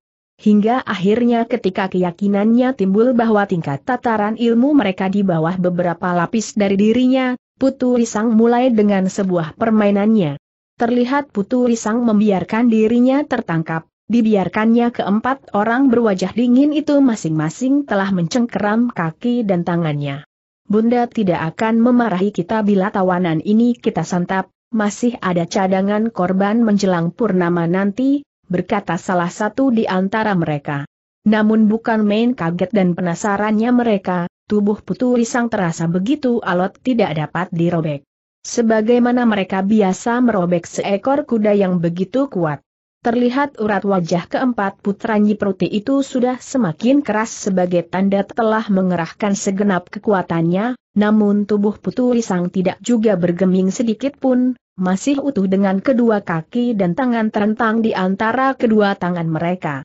Dan akhirnya Putu Risang sudah menjadi bosan dengan permainannya, maka dengan sebuah hentakan terlihat keempat orang lelaki itu seperti sebuah pohon tercabut dari akarnya, keempat orang itu seperti ditarik oleh sebuah tenaga yang begitu kuat. Secara bersamaan keempat tubuh lelaki kembar itu sudah tertarik ke satu tempat yang sama. Prak! Empat kepala dengan kerasnya terbentur satu dengan yang lainnya. Sebuah benturan yang begitu sangat kuat dan sangat keras membuat tubuh keempat orang itu langsung lunglai seperti sebuah daun tidak bertulang, jatuh lemas tidak bergerak lagi. Mati, berkata Putu Risang dalam sambil memeriksa orang terakhir yang ternyata memang sudah tidak bernyawa lagi. Aku telah membunuh keempat orang ini, berkata Putu Risang dalam hati penuh penyesalan bahwa dirinya tidak mampu mengendalikan kekuatannya yang ternyata memang sudah menjadi jauh berlipat-lipat dari kekuatannya semula sebelum mempelajari ilmu pusaka pertapa Gunung Wilis itu. Entah setan mana yang telah mengembalikan kekuatan dirimu, bahkan jauh lebih kuat, berkata seseorang yang tiba-tiba saja terdengar melengking namun belum juga menampakkan dirinya di hadapan Putu Risang. Nyiproti, berkata Putu Risang dalam hati yang masih mengenali pemilik suara itu, namun belum melihat orangnya. Sebuah tanda pemilik suara itu mempunyai tingkat tataran ilmu yang sangat begitu tinggi. Jangan merasa besar kepala dapat membunuh keempat putraku, berkata Nyiproti yang sudah terlihat berjalan mendekati Putu Risang dan Putu Risang dapat melihat bahwa tidak sedikit pun ada wajah duka di diri Nyipruti melihat mayat keempat putranya itu. Hal itu saja sudah membuat bulu kuduk Putu Risang merinding bahwa di hadapannya ini adalah seorang berhati sangat dingin, sudah dapat disamakan hatinya dengan hati seekor serigala, bahkan lebih lagi. Dengar dengan telingamu, jantungmu akan kukeluarkan saat ini juga tanpa menanti datang bulan purnama, berkata Nyiproti dengan mata begitu tajam menusuk dada. Dengar juga nenek sihir, jantungku sangat pahit, berkata Putu Risang tanpa rasa takut sedikit pun. Ternyata di ujung hidupmu masih juga dapat bergurau, berkata Nyipruti masih dengan sikap dinginnya terlihat sudah memutar tongkat panjang di tangannya dengan begitu cepatnya. Melihat tongkat yang sudah berputar di tangan Nyi Pruti membuat Putu Risang segera bersiap diri telah melepas cambuk pendeknya penuh kesungguhan untuk menghadapi ilmu Nyi Pruti yang diperkirakan mempunyai tingkat tataran yang tinggi. Benar sekali seperti dugaannya, tiba-tiba saja tongkat Nyi Pruti sudah meluncur menyerang dirinya. Tapi Putu Risang bukan pemuda yang baru kemarin sore mengenal kanuragan, tapi Putu Risang adalah murid kesayangan dua orang mumpuni pada zamannya, yaitu Mahesa Amping dan Empu Dangka. Apalagi saat itu dirinya sudah mengenal dan mendalami ilmu pusaka pertapa Gunung Wilis, maka genaplah diri Putu Risang pemuda yang tidak punya rasa gentar menghadapi siapa pun, kali ini menghadapi Nyipruti yang memulai serangan dengan sebuah tusukan yang cepat dan deras mengancam lambungnya. Terlihat Putu Risang telah bergeser dua langkah sambil menggerakkan cambuknya melingkar. Bukan main terkejut dan geram nyanyi Pruti bahwa Putu Risang dengan mudahnya keluar dari serangannya bahkan telah berbalas menyerang. Terlihat Nyi Pruti telah meloncat tinggi, begitu cepat sambil langsung meluncur mengejar dengan ujung tongkatnya nyaris mendekati kepala Putu Risang. Lagi-lagi Nyi Pruti menjadi begitu gusar bahwa pemuda itu dengan cepat bergerak menghindari ujung tongkatnya dan balas menyerang dirinya dengan sebuah lecutan ujung cambuk mengarah kakinya. Demikianlah, Nyi Pruti menjadi begitu sangat murka mendapatkan lawan yang masih muda itu tidak juga dapat ditundukkannya, bahkan telah merepotkannya dengan serangan baliknya yang tidak kalah cepat dan berbahayanya. Terlihat keduanya sudah langsung meningkatkan tataran ilmu mereka, dan pertempuran di celah lereng dua bukit. Itu menjadi begitu seru dan juga begitu sangat menegangkan. Dan angin deru senjata mereka sudah menjadi begitu berbahaya, telah dilambari tenaga sakti membuat pertempuran mereka semakin berjarak. Putaran angin tongkat nyipruti dirasakan oleh Putu Risang begitu panas menyengat kulitnya, maka Putu Risang segera mengimbanginya dengan melontarkan hawa pukulan yang dingin membeku. Bukan main geram nyanyi Pruti bahwa hawa panas pukulannya tidak membuat anak muda itu menyusut, bahkan terasa serangannya semakin deras menggulung seperti ombak samudera membumbung tinggi siap menghempas dan melemparnya. Putu Risang memang telah meningkatkan tataran ilmunya jauh dari yang diduganya membuat Nyi Pruti mulai kehabisan tenaga sibuk menghindar ke sana kemari. Mereka memang punya dasar sumber ilmu tenaga sakti yang sama, tapi ternyata Putu Risang jauh lebih sempurna mendalami ilmu itu, dan tingkat kesempurnaan itu akhirnya telah terlihat jelas di mana Nyi Pruti merasa begitu sangat putus asa. Kesurupan setan mana anak ini, Begitu ucapan Nyi Pruti dalam hati sambil melompat terhindar dari angin serangan cambuk putu risang yang melambarinya dengan kekuatan hawa panas. Inilah kehebatan dan kesempurnaan ilmu sakti yang dimiliki oleh putu risang, di mana dirinya dengan begitu mudah dapat merubah sumber kekuatan di dalam dirinya, pada satu saat melambarinya dengan tenaga hawa panas, namun tiba-tiba saja tenaga serangannya berubah menjadi sebuah angin dingin yang begitu tajam membekukan darah. Hal inilah yang membuat Nyi Pruti menjadi semakin putus asa, tidak menyangka pemuda ini yang dikira semula begitu mudah dapat dilumpuhkan ternyata begitu alot, bahkan tragis berbalik nyaris dapat membunuhnya. Dek. Dek. Terdengar dua kali hentakan cambuk pendek putu risang ke arah sekitar lima langkah dari tubuh Nyi Pruti. Dahsyat sekali hentakan cambuk itu, tidak menyangka sama sekali bahwa angin hentakan cambuk di tangan putu risang ternyata sudah masuk dalam area lawan tepat menembus dinding jantung Nyi Pruti yang sama sekali tidak menduganya dan angin hentakan cambuk itu nyaris seperti sebilah pedang tajam menusuk dingin menembus tepat di dada kiri nenek berhati kejam itu. Dan wajah Nyi Pruti langsung kaku dengan mata terbelalak. Nyi Pruti memang telah mati penasaran. Nyawanya sudah langsung terbang meninggalkan tubuhnya yang jatuh rebah di bumi tergeletak kaku. Terlihat Putu Risang memandang Nyi Pruti dengan wajah penuh keheranan, perlahan mengangkat cambuknya tinggi-tinggi, masih dalam wajah keheranan tidak menyangka bahwa jangkauan ujung cambuknya telah begitu jauh dan begitu sangat mematikan. Pencuri wanita itu memang sudah ditakdirkan harus mati oleh kekuatan ilmu yang dicurinya, terdengar suara bergema dari segala penjuru tanpa diketahui dari mana sumbernya. Baru kali ini Putu Risang mendengar suara yang begitu berat menekan isi rongga dadanya, Langsung seketika itu juga Putu Risang telah melambari kekuatan dirinya. Suara siapakah yang demikian bertenaga itu, berkata Putu Risang dalam hati penuh kekhawatiran bakal mendapat lawan yang jauh lebih berat karena hanya lewat suaranya saja sudah begitu mendebarkan isi rongga dadanya. Bagus, tataran ilmumu sudah mampu menahan ilmu ajian gelap ngamparku, berkata kembali orang yang tidak juga menampakkan dirinya. Siapakah gerangan tuan? bertanya Putu Risang sambil mencoba mencari arah sumber suara itu.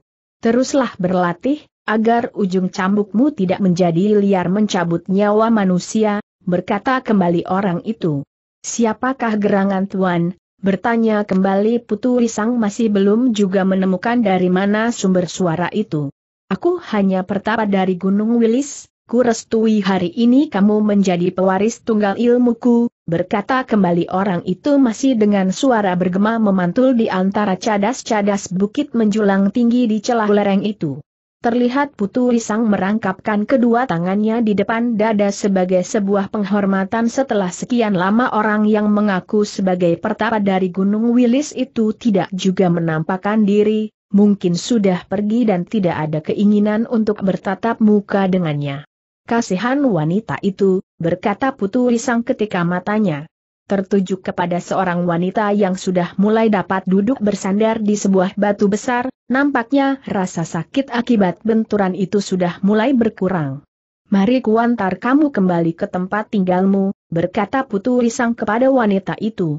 Terima kasih, berkata wanita itu yang merasa tidak takut kepada Putu Risang yang dilihatnya sebagai seorang pemuda biasa yang sangat santun. Beristirahatlah sebentar, sambil menunggu aku untuk menguburkan lima jenazah ini, berkata Putu Risang merasa berdosa bila harus meninggalkan lima sosok tubuh yang sudah tidak bernyawa itu. Demikianlah, dengan alat apa adanya terlihat Putu Risang sudah membuat sebuah lubang yang cukup dalam guna dapat mengubur kelima mayat itu di mana mereka ketika masih hidup begitu sangat buas dan kejam tanpa berkedip memangsa sesamanya, memangsa manusia. Mari kita berangkat, berkata Putu Risang kepada wanita itu setelah menyelesaikan tugasnya mengubur mayat Nyi Putri dan keempat putranya. Ternyata padukuhan tempat tinggal wanita itu memang tidak terlalu jauh, ketika matahari terlihat sudah semakin senja, dalam warna buram udara yang bening teduh dengan penuh haru biru sukacita tangis air mata, terdengar tangis wanita itu dan keluarganya. Terima kasih anak muda, berkata seorang lelaki yang ternyata ayah dari wanita itu. Menginaplah di rumah kami, hari sudah akan menjadi malam, berkata ayah wanita itu menawarkan putu risang yang mengaku hanya sebagai seorang pengembara. Masih di sebuah padukuhan di saat pagi telah datang. Hari di pagi itu dalam warna cerah bertabur kehangatan sinar matahari dan suara angin semilir di ujung juntai kuning padi. Di ujung jalan sebuah padukuhan terlihat seorang pemuda tengah berjalan seorang diri, dan pemuda itu tidak lain adalah Putu Risang yang baru saja meninggalkan rumah seorang wanita yang telah diselamatkannya dari tangan keluarga Nyi Pruti. Berkat petunjuk beberapa orang tua di padukuhan itu, akhirnya Putu Risang mendapat sebuah petunjuk arah yang paling cepat untuk sampai di bumi Majapahit. Ketika dirinya menemui sebuah kademangan yang cukup ramai, Putu Risang pun telah memutuskan untuk membeli seekor kuda agar perjalanannya menjadi lebih cepat lagi sampai di bumi Majapahit. Demikianlah, dengan berkuda perjalanan Putu Risang menjadi lebih cepat lagi dan tidak begitu melelahkan. Seperti seekor elang muda tengah mengarungi padang perburuan baru, Putu Risang memacu kudanya mengarungi padang dan perbukitan hijau. Sebagaimana seorang pengembara yang berjalan di sepanjang siang hari dan beristirahat sejenak di malam harinya yang terkadang hanya beratap langit di alam terbuka. Namun Putu Risang tidak pernah melewatkan waktunya untuk berlatih mengendalikan kekuatan yang ada di dalam dirinya untuk mengukur sejauh mana lontaran yang dapat dihentakannya lewat cambuknya atau lewat kaki dan tangannya sendiri. Dan pada akhirnya Putu Risang telah mendapatkan jalur Perjalanannya kembali. Hutan Bukit Cemara, berkata Putu Risang sambil memacu kudanya mencoba mendekati kaki Bukit Cemara itu. Ketika Putu Risang telah sampai di atas puncak Bukit Cemara matahari sudah bergeser sedikit dari puncaknya membelakangi punggung Putu Risang. Selamat bertemu kembali sahabat muda, berkata seseorang kepada Putu Risang. Bukan main terkejutnya Putu Risang bertemu kembali di tempat yang sama dengan seorang tua renta yang tidak lain adalah seorang yang mempunyai sebuah julukan, kerasakti seribu bayangan. Seorang yang mempunyai ilmu yang cukup tinggi, dan Putu Risang sudah pernah berhadapan dengannya, harus mengakui kehebatan jurus tangan kosong orang tua itu. Selamat bertemu juga, wahai orang tua perkasa, berkata Putu Risang dengan wajah penuh senyum. Entah mengapa tangan ini terasa gatal-gatal ingin merebut cambuk pendekmu kembali, berkata orang tua itu penuh sindiran untuk mengingatkan kembali Putu Risang dengan pertempurannya dengan orang tua itu di mana cambuk Putu Risang berhasil direbut oleh orang tua yang menamakan dirinya Kerasakti bertangan seribu.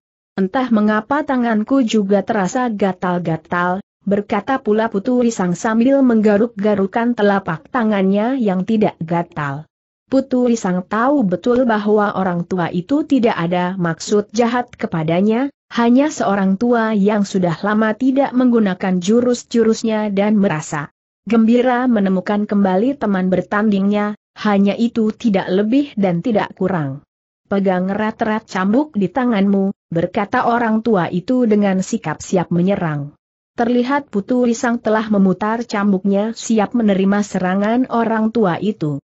Maka dalam waktu singkat telah terjadi pertempuran di antara mereka sebagaimana pernah mereka lakukan bersama, orang tua itu bertangan kosong selalu mencoba masuk menyerang dalam jarak dekat, sementara Putu Risang dengan cambuknya selalu mencari jarak serangnya.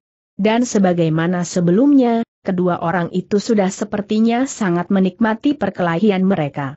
Sepertinya mereka diam-diam telah sepakat untuk tidak menggunakan kekuatan tenaga cadangan, hanya sebatas kecepatan dan kelincahan bergerak. Namun lama-kelamaan orang tua itu tersadar bahwa Putu Risang telah meningkat tataran ilmunya, telah bergerak lebih cepat dari sebelumnya beberapa hari yang telah lewat. Dan Putu Risang masih saja dapat melayani perlawanan orang tua itu yang telah meningkatkan tataran ilmunya selapis demi selapis.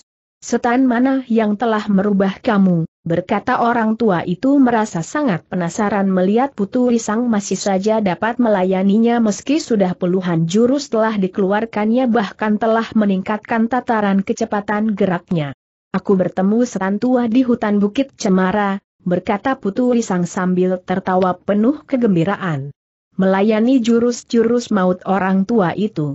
Hingga akhirnya ketika orang tua aneh itu telah meningkatkan puncak kemampuannya, namun Putu Risang masih dapat melebihi beberapa lapis tataran ilmunya. Maka di atas puncak bukit itu seperti ada sebuah tontonan yang sangat begitu menarik. Terlihat orang tua aneh itu seperti seekor kera yang lari ke sana kemari dikejar ujung cambuk majikannya.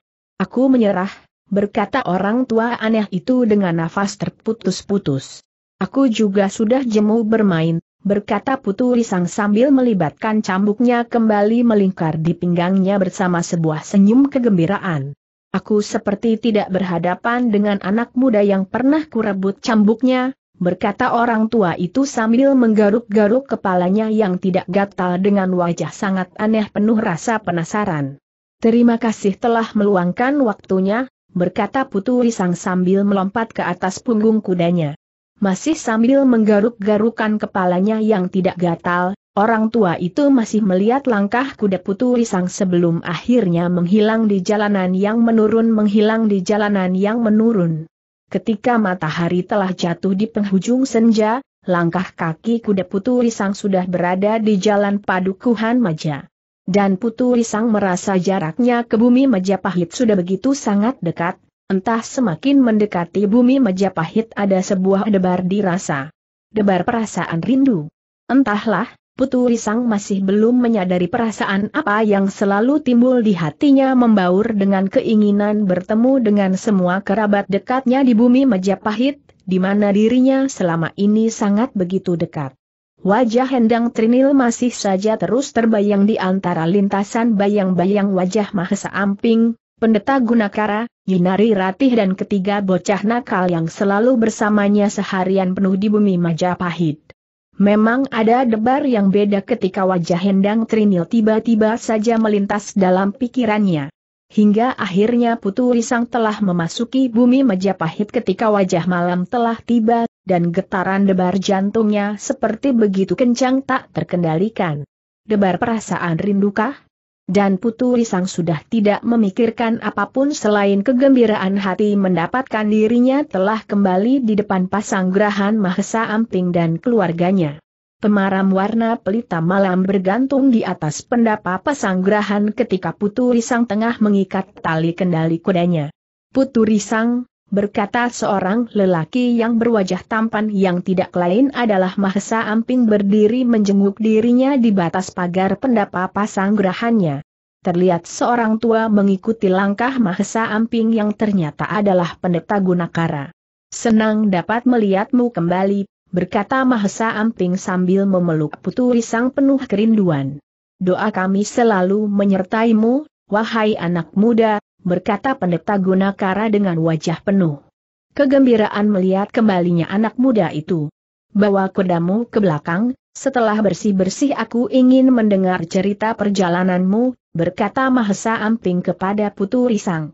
Ketika malam telah sudah larut bergelayut, suasana di pendapa pasanggrahan keluarga Mahesa Amping masih saja terlihat dipenuhi suara kegembiraan.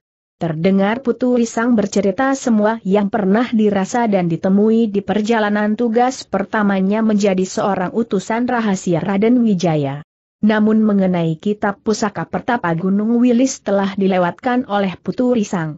Pada suatu saat, aku akan bercerita kepada tuanku Senapati Mahesa Amping, berkata Putu Risang dalam hati berjanji untuk bercerita kepada gurunya sendiri Mahesa Amping tentang sebuah ilmu rahasia yang tidak sengaja didapat lewat Ki Kumbara di dalam sebuah gua. Dan keesokan harinya, Mahesa Amping sudah membawa Putu Risang menghadap Raden Wijaya. Bukan main gembiranya Raden Wijaya mendapat berita bahwa pesannya telah sampai langsung kepada Ratu Turuk Bali. Apa pun keputusannya, Aku sudah merasa tidak berdosa lagi sebagai seorang kemenakan, berkata Raden Wijaya sambil menarik nafas panjang seperti tengah melihat sendiri wajah kegundahan Ratu Turuk Bali yang dapat dipahami memang sangat sulit berada dan berdiri di dua buah kubu yang sama-sama dicintainya, antara suami dan keluarganya. Antara pengabdian dan ketulusan cinta kasih keluarga yang pernah membesarkannya.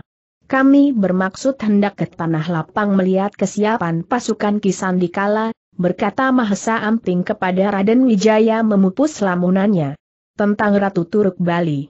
Tadinya aku akan mengajak dirimu bersama ke benteng Tanah Ujung lalu membicarakan beberapa kesepakatan antara kita dan Panglima Besar Pasukan Mongol, berkata Raden Wijaya kepada Mahesa Amping yang ditangkap oleh Putu Risang bahwa ternyata armada besar bangsa Mongol itu sudah tiba di bandar Tanah Ujung Galuh. Tapi Putu Risang tidak bertanya dan berkata apa pun tentang pasukan Mongol itu, dia dan Mahesa Amping pagi itu hanya bicara mengenai tugasnya, begitulah arah pikiran Putu Risang. Demikianlah, Mahesa Amping bersama Putu Risang telah berjalan menuju tanah lapang melihat Kisandikala tengah menempa sebuah pasukan khusus, sebuah pasukan cadangan. Ternyata di tanah lapang Kisandikala tidak sendiri mengawasi pasukannya yang tengah berlatih penuh semangat. Di tanah lapang itu mereka juga dapat menemui menak koncar, menak jingga serta putut prastawa ikut membantu Kisandikala. Ternyata Meta Putu Risang juga melihat seorang gadis ada bersama mereka. Siapa lagi kalau bukan Endang Trinil? Ketika Mahesa Amping tengah bercakap-cakap bersama Kisandikala, terlihat Endang Trinil datang mendekati Putu Risang yang tengah berdiri seorang diri. Kapan Kakang Putu Risang datang? Bertanya Endang Trinil kepada Putu Risang ketika sudah dekat. Kemarin malam, berkata Putu Risang singkat dengan jantung terasa berdebar kencang, seperti ingin lari pergi. Menjauh. Aku bosan berada di tanah lapang ini, apakah Kakang bersedia mengantar aku ke bandar tanah ujung Galuh? Koma berkata Endang Trinil kepada Putu Risang tidak mengetahui perasaan apa yang diderita di dalam jantung anak muda itu. Aku bersedia, berkata Putu Risang sambil menganggukkan kepalanya, Sementara di dalam pikirannya telah terjadi peperangan antara sebuah kegembiraan hati dan rasa kecut jalan bersama seorang gadis, seorang Endang Trinil. Bukan main senangnya hati Endang Trinil mendengar kesediaan Putu Risang itu. Terlihat Endang Trinil tengah menghampiri Ki Sandikala untuk meminta izin darinya melihat-lihat suasana di bandar Tanah Ujung Galuh. Pamanku mengizinkannya, berkata Endang Trinil kepada Putu Risang penuh kegembiraan. Ketika mereka akan berangkat, terlihat Mahesa Amping dan Kisandikala melambaikan tangan ke arah mereka sebagai tanda merestui dan berhati-hati selama di tanah ujung Galuh. Demikianlah kedua muda-mudi itu telah berjalan beriring ke arah bandar tanah ujung Galuh. Dan kecanggungan demi kecanggungan seakan terus terkikis di hati Putu Risang lewat canda ceria Endang Trinil dan Putu Risang sudah dapat menapakkan kakinya di bumi, tidak terasa mengapung lagi. Dan setiap kata tidak terbata-bata lagi, tapi lancar seperti peneseng penyair dalam pengembaraan cintanya. Ketika mereka tiba di padukuhan ujung galuh, terlihat beberapa prajurit bersama para pemuda di sebuah gardu ronda jaga. Paman Sandikala mengatakan kepadaku bahwa prajurit asing yang saat ini singgah di bandar Tanah Ujung Galuh adalah orang-orang kasar, sering berbuat onar, berkata Endang Trinil kepada Putu Risang. Mungkin itulah sebabnya, Tuanku Senapati Raden Wijaya telah menempatkan beberapa prajuritnya untuk berjaga-jaga di padukuhan Ujung Galuh, berkata Putu Risang menanggapi perkataan Endang Trinil. Tuanku Senapati Raden Wijaya mungkin tidak ingin terjadi hal yang dapat menyengsarakan para penduduk di sini, berkata kembali Endang Trinil. Hari ini Tuanku Senapati Raden Wijaya akan melakukan pembicaraan resmi dengan Panglima Besar pasukan asing itu, berkata Putu Risang. Pastinya sebuah kesepakatan bersama untuk menghadapi penguasa kota Raja Kediri, berkata Endang Trinil menambahkan. Sepertinya kamu tahu betul semua kejadian di atas bumi Majapahit ini, berkata Putu Risang kepada Endang Trinil. Aku sering menguping pembicaraan pamanku, berkata Endang Trinil tersenyum sambil menutup bibirnya dengan sebuah tangannya. Manisnya senyum itu, berkata Putu Risang dalam hati sambil terus berjalan di atas tanah keras jalan padukuhan menuju bandar tanah ujung galuh. Akhirnya mereka telah sampai di bandar Tanah Ujung Galuh. Dari sebuah dermaga kayu mereka berdiri telah melihat sekitar 13 perahu asing yang sangat besar. Di tepi pantai ke arah Muara Kalimas mereka juga melihat begitu banyak barak-barak para prajurit asing. Terlihat juga di sepanjang jalan tepi bandar Ujung Galuh, ada beberapa prajurit asing yang tengah berjalan dan duduk-duduk berkumpul di depan beberapa kedai. Suasana bandar ujung galuh itu menjadi begitu ramai. Duhai anak manis, pasti kamu orang baru di sini, karena beberapa malam aku tidak pernah melihat wajahmu. Tunjukkan padaku induk semangmu, agar aku bisa mampir nanti malam, berkata seorang prajurit asing yang tiba-tiba saja berhenti di dekat Endang Trinil dan Butu Risang. Bersamanya ada tiga orang prajurit asing lagi. Dari mulut mereka tercium aroma yang sangat menyengat, aroma minuman keras. Semula Putu Risang hendak menarik tangan Endang Trinil mengajaknya pergi menjauh dari orang-orang asing itu, tapi bukan main terperanjatnya Putu Risang melihat sikap Endang Trinil jauh di luar perkiraannya. Putu Risang melihat Endang Trinil tersenyum sambil menutup sedikit bibir kecilnya. Mengapa harus menunggu nanti malam, terlalu lama, berkata Endang Trinil dengan senyum sangat genit sekali. Keempat orang asing itu seperti mendapatkan gayung bersambut mendengar ucapan Endang Trinil. Maka tanpa berkata lagi seorang yang pertama menggoda itu sudah langsung menghampiri Endang Trinil. Mari jalan-jalan bersamaku, berkata orang asing itu sambil tangannya sudah mencengkeram sebelah tangan mungil Endang Trinil. Bukan main terperanjatnya Putu Risang melihat apa yang dilakukan Endang Trinil kepada orang asing itu. Putu Risang melihat tangan mungil Endang Trinil dengan begitu cepat berbalik mencengkeram pergelangan tangan orang asing yang besar dan kuat itu. Dan dengan sebuah hentakan, Endang Trinil telah menarik tangannya membuat orang asing itu terhuyung ke depan. Tidak hanya itu, sebuah kaki mungil Endang Trinil terlihat mengganjal sebuah kaki orang asing yang tengah terhuyung ke depan, maka akibatnya sangat parah sekali. Tanda seru. Jebur. Putu Risang melihat orang asing itu terhuyung dan terlempar di ujung tepi dermaga kayu, langsung tercebur ke air laut yang asin.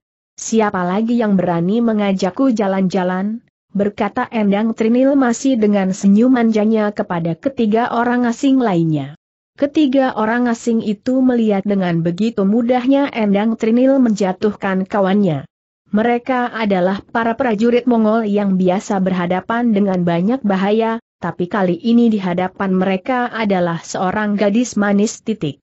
Aku akan mengajakmu dengan paksa, berkata seorang yang sudah menjadi sangat penasaran, menganggap apa yang diperbuat oleh Hendang Trinil adalah sebuah kebetulan. Aku tidak suka dipaksa, berkata Endang Trinil dengan senyum manisnya bertolak pinggang. Bukan main kagetnya orang itu ketika kedua tangannya hendak menangkap tubuh Endang Trinil, maka terlihat Endang Trinil malah maju dengan punggung merendah. Melintang masuk ke tubuh orang asing yang berperut tambur. Maka terlihat tubuh orang asing itu begitu ringan terangkat oleh tubuh Mungil Endang Trinil. Mau tahu kejadian selanjutnya? Dengan mudahnya pula Endang Trinil melempar tubuh orang asing itu seperti layaknya seorang buruh panggul melempar sekarung beras besar. Jebur. Dan orang asing itu telah jatuh masuk ke dalam air laut tidak jauh dari tepi dermaga kayu. Siapa lagi yang masih ada keinginan untuk mengajakku jalan-jalan? Berkata kembali Endang Trinil masih dengan senyum manisnya di hadapan kedua orang asing yang masih berdiri mematung merasa tidak percaya dengan apa yang dilihatnya. Tapi belum lagi kedua orang asing itu melakukan apa pun, terlihat Putu Risang dengan kedua tangan merangkap di depan dada berkata kepada keduanya dengan bahasa yang santun. Maafkan bila kawanku ini telah menyusahkan kedua kawanmu, biarkanlah kami pergi, berkata Putu Risang kepada kedua asing itu. Tapi ternyata kedua orang asing itu adalah para prajurit yang sangat mengutamakan kesetiaan kawan, mereka tidak melihat lagi bahwa Endang Trinil hanya seorang gadis. Dan mereka ingin sekali membuat sebuah pelajaran, ingin membuat sebuah perhitungan bahwa prajurit Mongol bukan orang sembarangan yang dengan begitu mudahnya dipermalukan. Minggir, berkata seorang di antaranya sambil mencengkeram tangannya di atas bahu Putu Risang. Haduh, berkata Putu Risang seperti orang meringis menahan rasa sakit.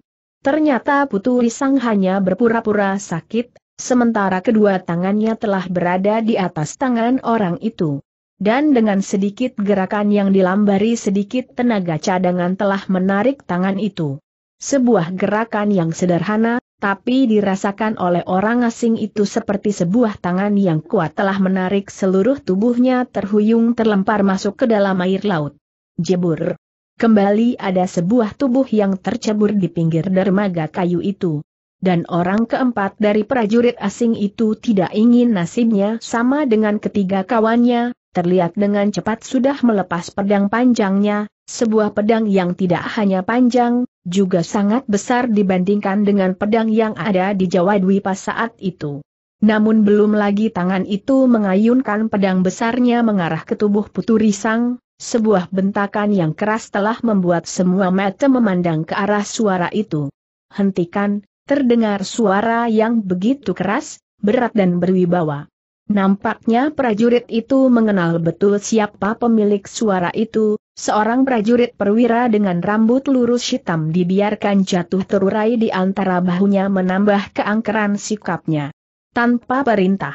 Apa pun prajurit itu sudah langsung menyarungkan kembali pedang besarnya dan sambil membungkuk penuh rasa takut berjalan pergi diikuti oleh ketiga kawannya yang sudah naik ke darat, masih dengan pakaian yang basah serta wajah kuyu berjalan membungkuk melewati prajurit perwira itu. Chuan Maguchin, berkata Endang Trinil penuh hormat menyapa perwira itu yang memang sudah dikenalnya pernah bersama seiring sejalan bersama keluarga Kisandikala ketika dalam perjalanan mereka dari Lamajang menuju bumi Majapahit.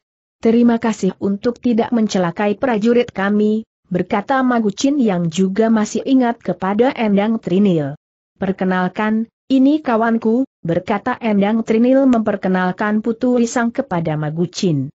Pemandangan di bandar Tanah Ujung Galuh ini memang indah, berkata Magucin dengan ramah.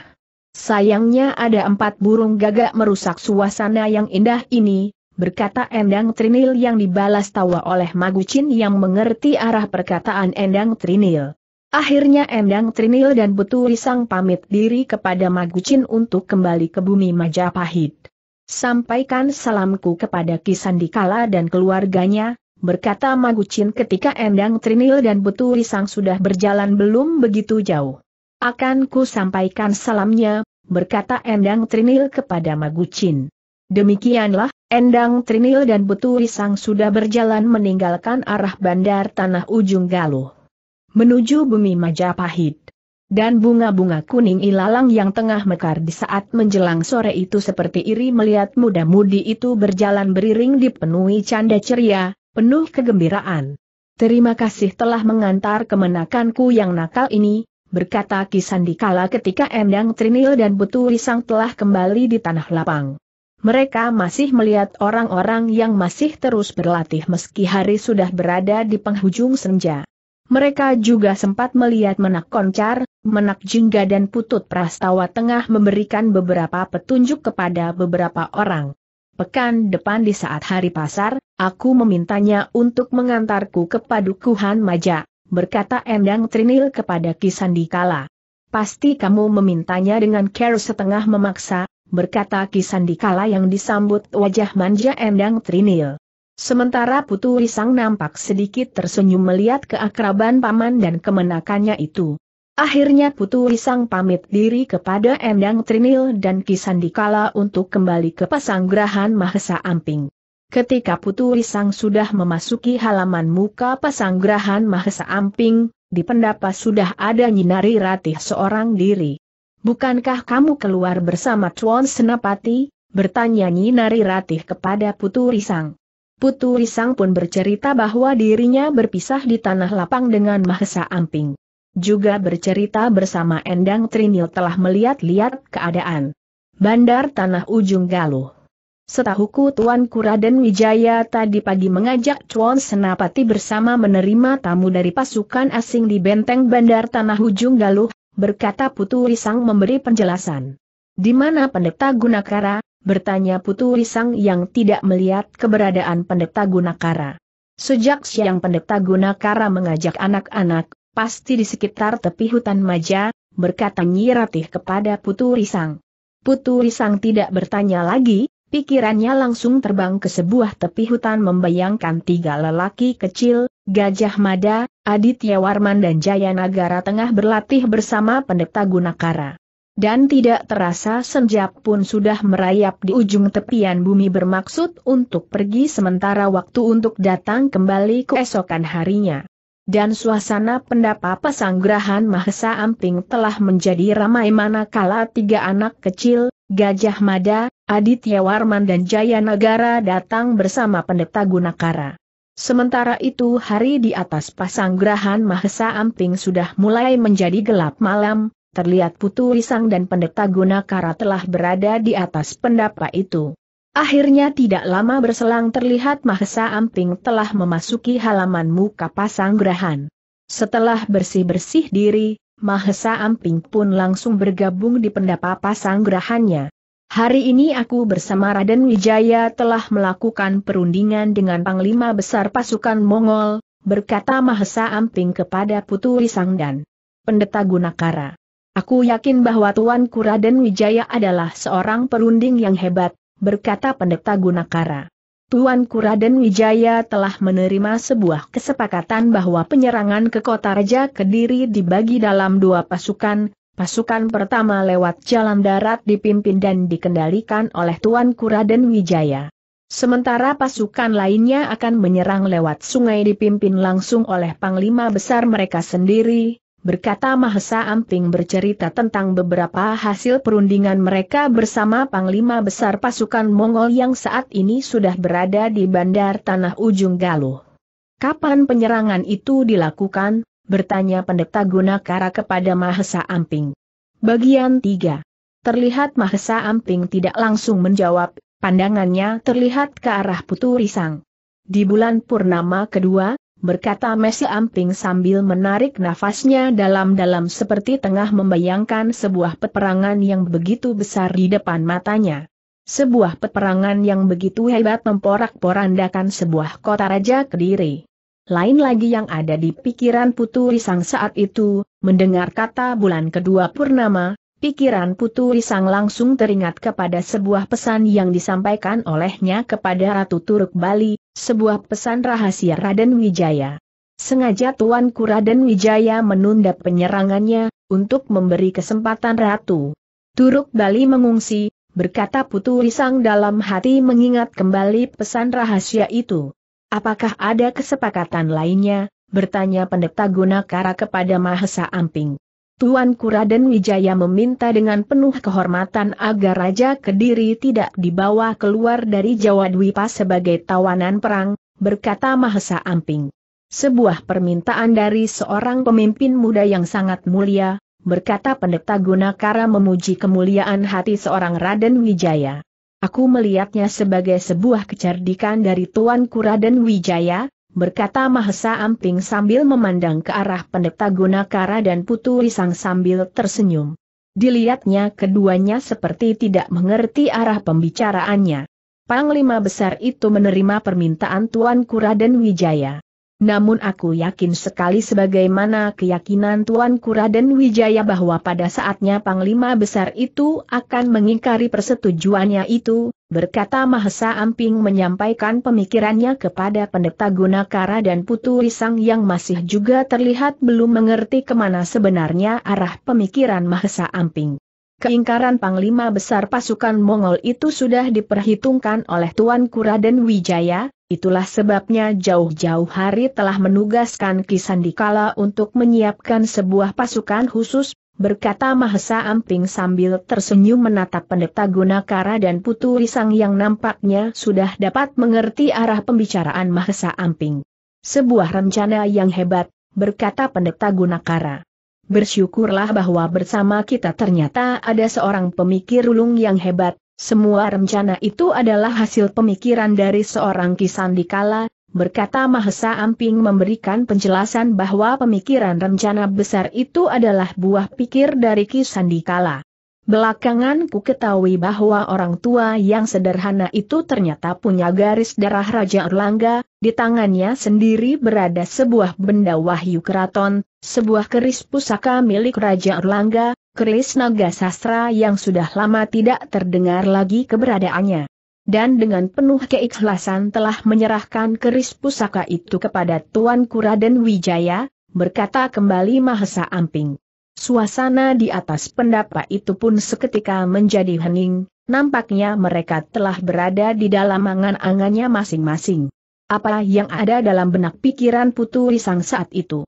Ternyata pikiran Putu Risang jauh melayang terbang di kota Raja Kediri, sebuah tempat yang belum lama itu disinggahi, sebuah kota raja yang damai dipenuhi rumah-rumah besar yang elok di sepanjang jalan kota raja.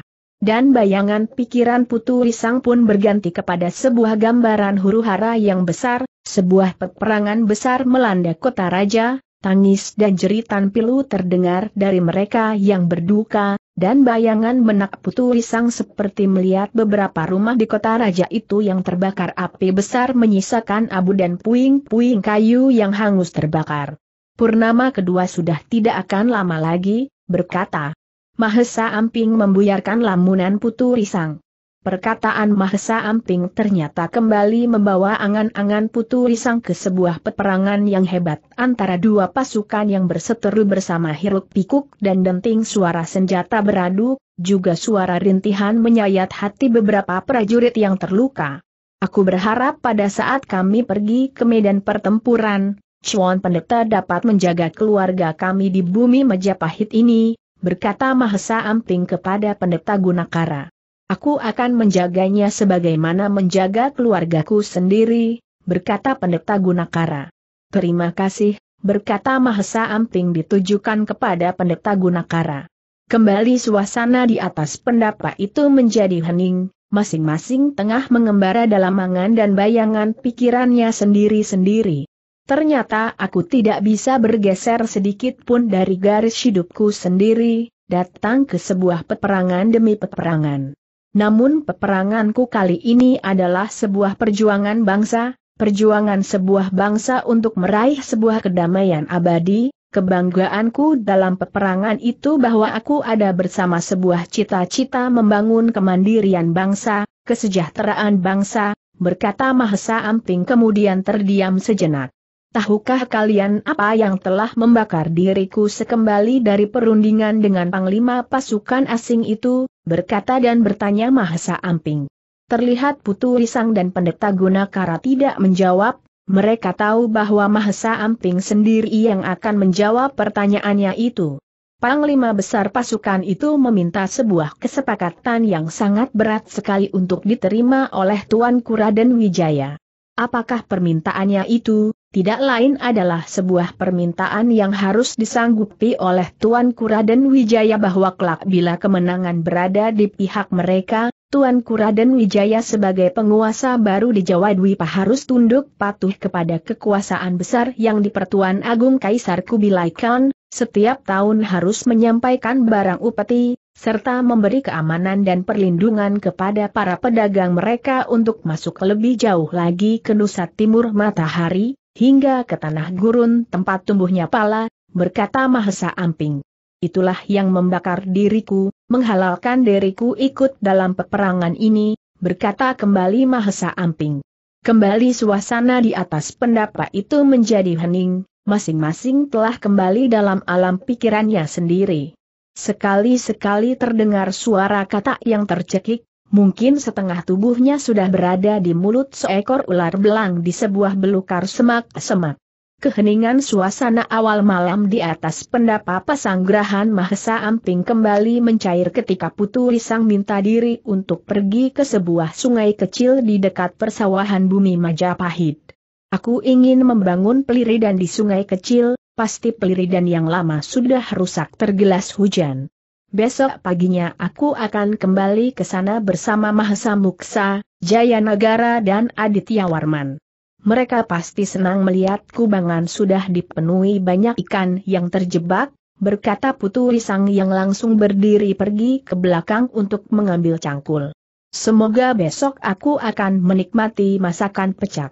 Gabus yang nikmat, berkata pendeta Gunakara mengiringi langkah kaki Putu Risang yang tengah berjalan ke arah pintu butulan. Dan malam nampaknya sudah menyelimuti bumi Majapahit, di sebuah sungai kecil di mana Putu Risang tengah membangun sebuah peliridan baru, sebuah gundukan tanah berlubang di mana air muncul memancur ke atas.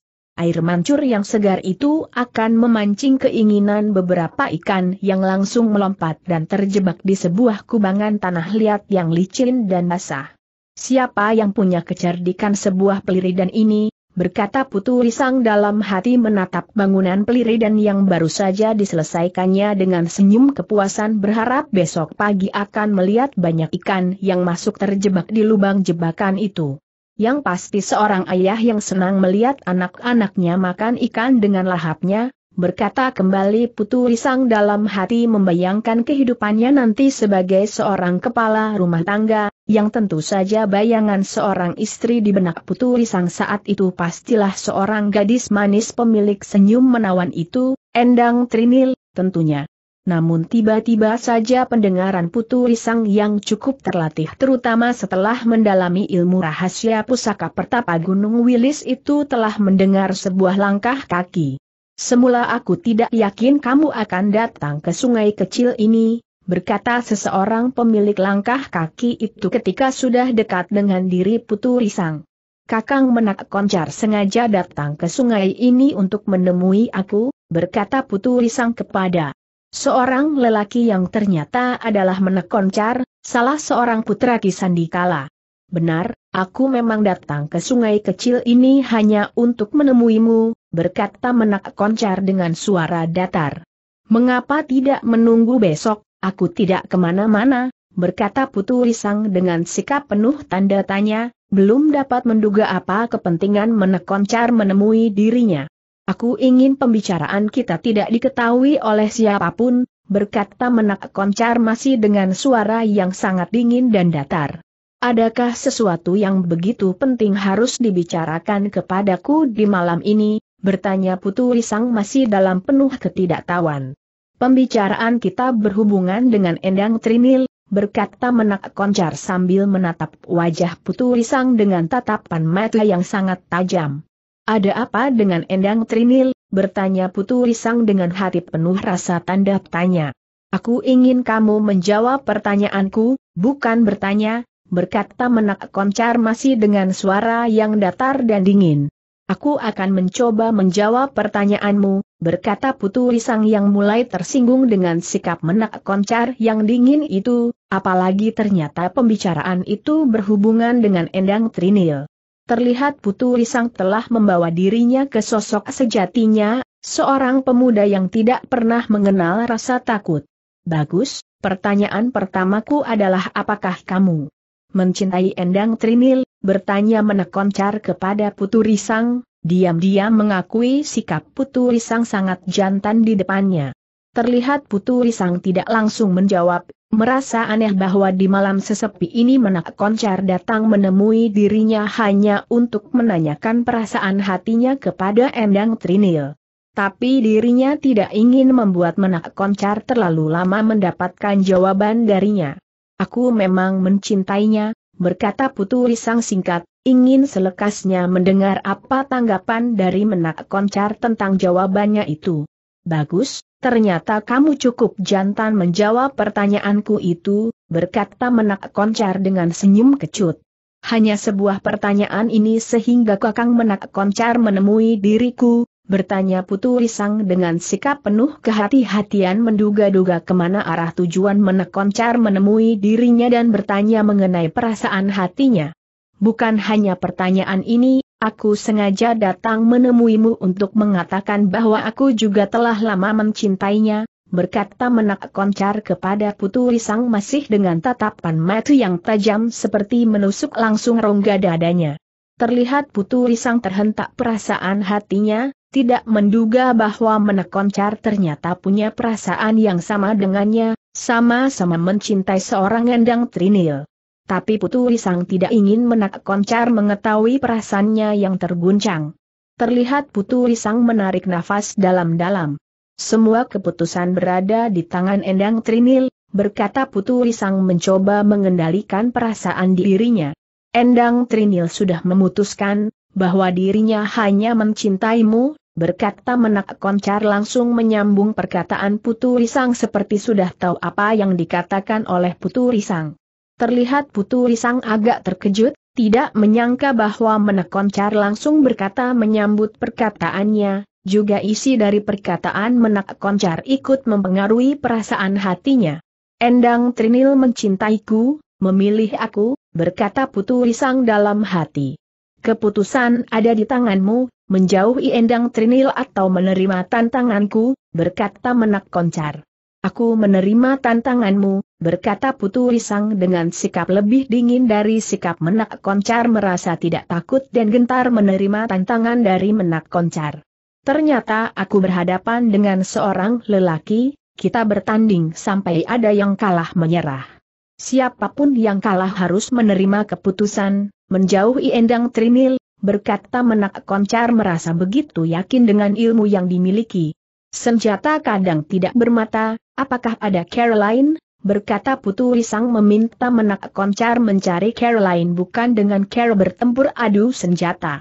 Tapi ucapan Putu Risang diterima lain, menak jingga menyangka Putu Risang meremehkannya menjadi takut terluka oleh senjata cambuknya.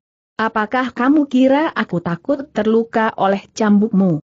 Berkata menak koncar dengan amarah merasa diremehkan.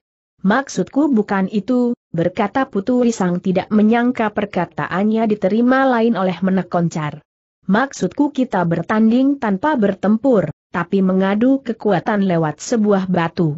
Siapa yang dapat memecahkan lebih keras dengan senjatanya, dialah pemenangnya. Menak koncar dapat mengerti adu kekuatan seperti apa yang dimaksud oleh Putu Risang, sebuah adu kekuatan memecahkan sebuah batu besar. Menak Koncar tidak langsung menjawab sebagaimana biasanya, tapi sekejap melirik ke arah cambuk yang melilit di pinggang Putu Risang.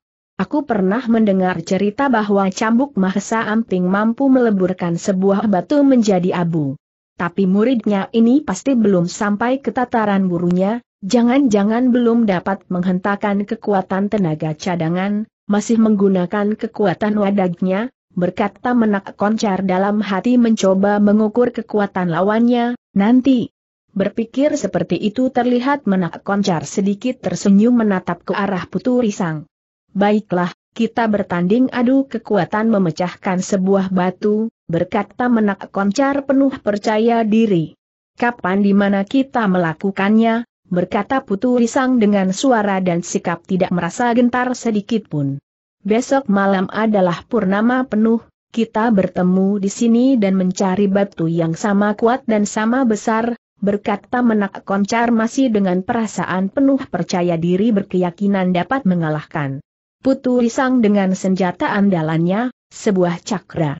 Setelah berkata, terlihat menak koncar tanpa pamit lagi telah membalikan badannya pergi meninggalkan Putu Risang di atas sungai kecil itu. Terlihat Putu Risang menarik nafas panjang sambil mengamati punggung dan langkah menak koncar yang akhirnya menghilang di sebuah tikungan jalan. Sementara itu wajah sang malam sudah semakin menghitam. Terlihat Putu Risang telah meninggalkan peliridannya, sudah menjauhi sungai kecil berjalan menapaki sebuah pematang sawah. Tatapannya menyapu tangkai-tangkai ujung padi yang sudah bunting tapi belum menguning dan hari masih di bawah sepertiga malam ketika Putu Risang sampai di halaman pendapa pesanggrahan Mahesa Amping. Semua sudah tertidur, berkata Putu Risang dalam hati sambil terus melangkah ke biliknya yang berada di belakang bangunan utama pasanggrahan. Lama Putu Risang tidak dapat memejamkan matanya di atas balai-balai tempat tidurnya. Hati dan pikiran anak muda itu masih saja membayangkan suasana saat adu kekuatan besok malam di sungai kecil bersama menak koncar. Tapi rasa lelah yang sangat akhirnya perlahan telah meredupkan pikiran Putu Risang, terlihat anak muda itu sudah tertidur pulas, entah apa yang dimimpikan oleh anak muda itu di dalam alam tidurnya. Hingga pada keesokan harinya, pagi-pagi sekali Putu Risang sudah membangunkan Gajah Mada, Aditya Warman dan Jaya Nagara. Anak muda itu sepertinya telah melupakan pertemuannya dengan menak koncar, terlarut dalam suasana kegembiraan tiga anak lelaki kecil mengumpulkan ikan-ikan yang terjebak di lubang peliridan. Pagi itu mereka membawa begitu banyak ikan.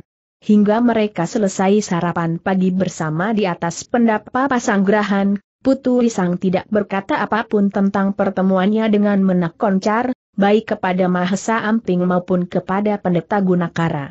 Barulah, ketika Mahesa Amping keluar pasanggrahannya untuk bertemu dengan Raden Wijaya.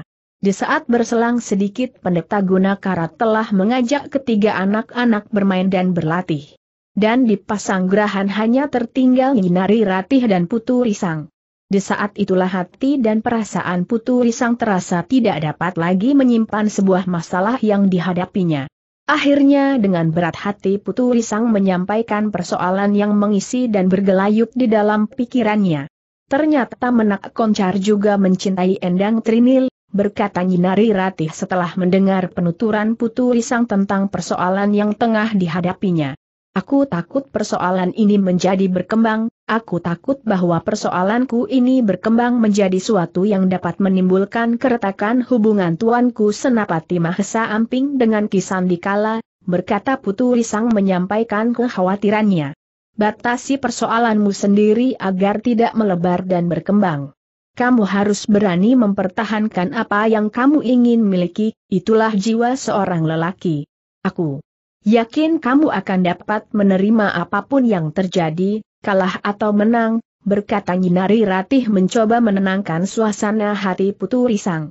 Dan hari itu sudah berada di penghujung akhir senja, terlihat wajah Purnama pucat sudah bergelinding berdiri di ujung langit malam seperti tak sabar untuk segera meloncat di atas pucuk kerinduannya menyebarkan warna kegembiraan. Terang bulan Purnama di hari ke-15, seperti itulah diucapkan oleh hampir semua orang ketika wajah bulan purnama bulat penuh bergantung di lengkung langit malam. Dan sesosok bayangan telah berdiri di atas sebuah batu besar di sebuah sungai kecil yang deras mengalir. Cahaya sinar bulan purnama menyapu wajah sosok bayangan itu, ternyata adalah wajah Putu Risang yang tengah berdiri dengan sabar menunggu kedatangan seseorang yang telah berjanji untuk bertemu di atas sungai kecil itu. Ternyata kamu telah datang mendahuluiku, berkata seseorang yang terlihat baru saja datang mendekati Putu Risang. Sejak senja berakhir aku sudah datang, berkata Putu Risang kepada orang itu yang ternyata adalah menekoncar. Mari kita mencoba mencari batu yang sama besarnya, berkata menak koncar dengan wajah penuh percaya diri mengajak Putu Risang mencari batu besar yang sama di sepanjang sungai kecil itu. Dan akhirnya mereka mendapatkan dua buah batu yang sama besarnya, berdekatan sebesar setengah tubuh. Seekor kerbau. Terlihat dua orang pemuda tengah menatap dua buah batu yang sama di atas sebuah sungai kecil di malam hari di saat bulan purnama menerangi alam sekitarnya. Namun ternyata mereka tidak hanya berdua, di sebuah semak-semak belukar yang terhalang kegelapan, terlihat dua orang lelaki tengah memandang ke arah Putu Risang dan Menak Koncar. Siapakah dua orang lelaki itu? Ternyata kedua orang itu adalah Mahesa Amping dan Kisandikala. Ternyata Ninari Ratih tidak mampu untuk tidak bercerita tentang persoalan yang tengah dihadapi oleh Putu Risang. Di pihak lain, Endang Trinil juga dengan sangat berat hati bercerita tentang apa yang akan dilakukan oleh Menekoncar dan Putu Risang di atas persaingan cintanya. Siapa yang akan memulainya, berkata Menak Koncar dengan suara penuh keyakinan. Kupersilahkan Kakang Menak Koncar untuk memulainya, berkata Putu Risang kepada Menak Koncar tanpa merasa bahwa di hadapannya adalah seorang pesaingnya. Putu Risang sudah dapat menyesuaikan perasaannya, siap menerima apa pun yang terjadi. Bahkan berharap bahwa persoalan itu akan cepat berlalu begitu saja. Terlihat menak koncar sudah memegang senjata andalannya, sebuah senjata cakra.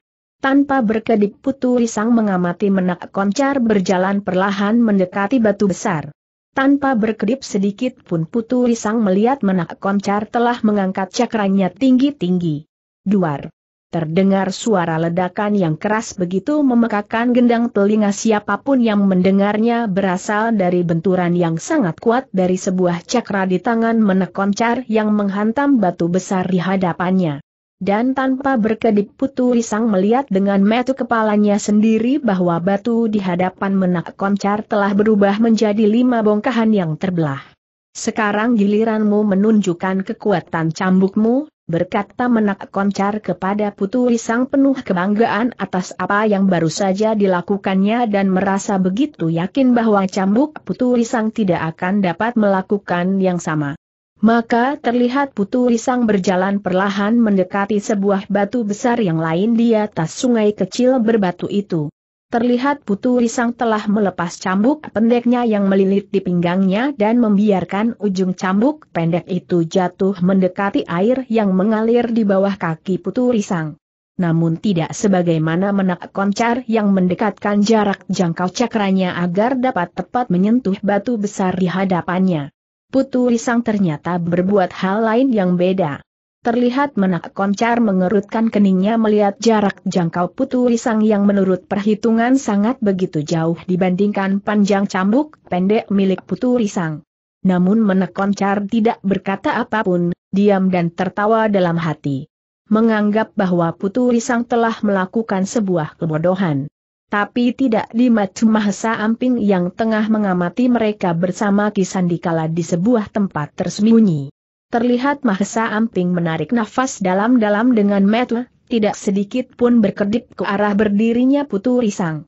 Sebagai seorang yang sudah sangat mumpuni, Mahesa Amping tahu persis dan dapat mengukur tingkat tataran ilmu cambuk seseorang hanya dengan melihat seberapa jauh seseorang menempatkan dirinya dari jarak jangkau sasarannya. Apakah Putu Risang sudah mencapai tataran setinggi itu?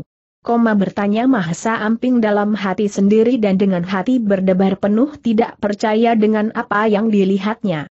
Bagaimana anak itu berlatih hingga mampu sampai di tingkat itu dengan begitu pesatnya, berkata kembali Mahasa Amping dalam hati masih tanpa mata berkedip ingin melihat apa yang akan terjadi. Dan Mahasa Amping telah melihat Putu Risang dengan tegap berdiri jauh menghadap batu besar. Mahesa Amping dengan hati berdebar melihat anak muda itu telah menarik nafasnya dalam-dalam seakan ingin menghabiskan seluruh udara di bumi dan mengisinya masuk ke rongga dadanya. Masih dengan hati berdebar, Mahesa Amping melihat Putu Risang mengangkat cambuk pendeknya perlahan ke atas sehingga jurai ujung cambuknya jatuh di belakang kepalanya. Mahesa Amping juga masih melihat Putu Risang tengah menghentakkan cambuk pendeknya dengan care sendal pancing. Debok. Telinga Mahesa Amping yang tajam meski dari kejauhan masih dapat mendengar suara hentakan berasal dari cambuk putu risang, begitu berat berisi. Luar biasa, berkata Mahesa Amping dalam hati seperti tidak menyangka bahwa tataran ilmu Putu Risang ternyata sudah setinggi itu. Sementara itu, Kisandikala di dekat Mahesa Amping terlihat menggeleng-gelengkan kepalanya sebagai tanda mengagumi apa yang dilihatnya. Sebagaimana yang dilihat oleh Mahesa Amping dan Kisandikala, ternyata menak koncar terlihat berdiri mematung seperti tidak menyangka dengan apa yang dilihatnya. Ternyata Putu Risang telah memperlihatkan tataran ilmunya sendiri, hanya dengan sebuah hentakan sendal pancing dan dengan jarak jangkau ujung cambuk sekitar tiga langkah dari sasaran dan tanpa menyentuhnya telah membuat sebongkah batu sebesar setengah tubuh kerbau terlihat teruntuh menjadi abu yang bertebaran jatuh hanyut terbawa derasnya air. Terlihat Putu Risang masih berdiri menarik nafas panjang sejenak dan mengikat kembali cambuk pendeknya di lingkaran pinggangnya dan dengan penuh senyum memandang ke arah menek koncar yang dilihatnya masih mematung terkesima dengan apa yang dilihatnya. Bagaimana kakang menak koncar, apakah pertandingan ini sudah selesai? Berkata Putu Risang kepada menak koncar. Maafkan aku yang buta ini. Tidak melihat gunung tinggi di depan kelopak mata, berkata menak koncar mengakui. Kemampuan ilmunya jauh di bawah Putu Risang, dan terima kasih telah memilih pertandingan dengan care seperti ini, apa jadinya seandainya sasaran cambukmu diriku sendiri, berkata kembali menak koncar masih berdiri di tempatnya. Akulah yang seharusnya minta maaf, telah merebut hati Endang Trinil, berkata Putu Risang mendekati menak koncar.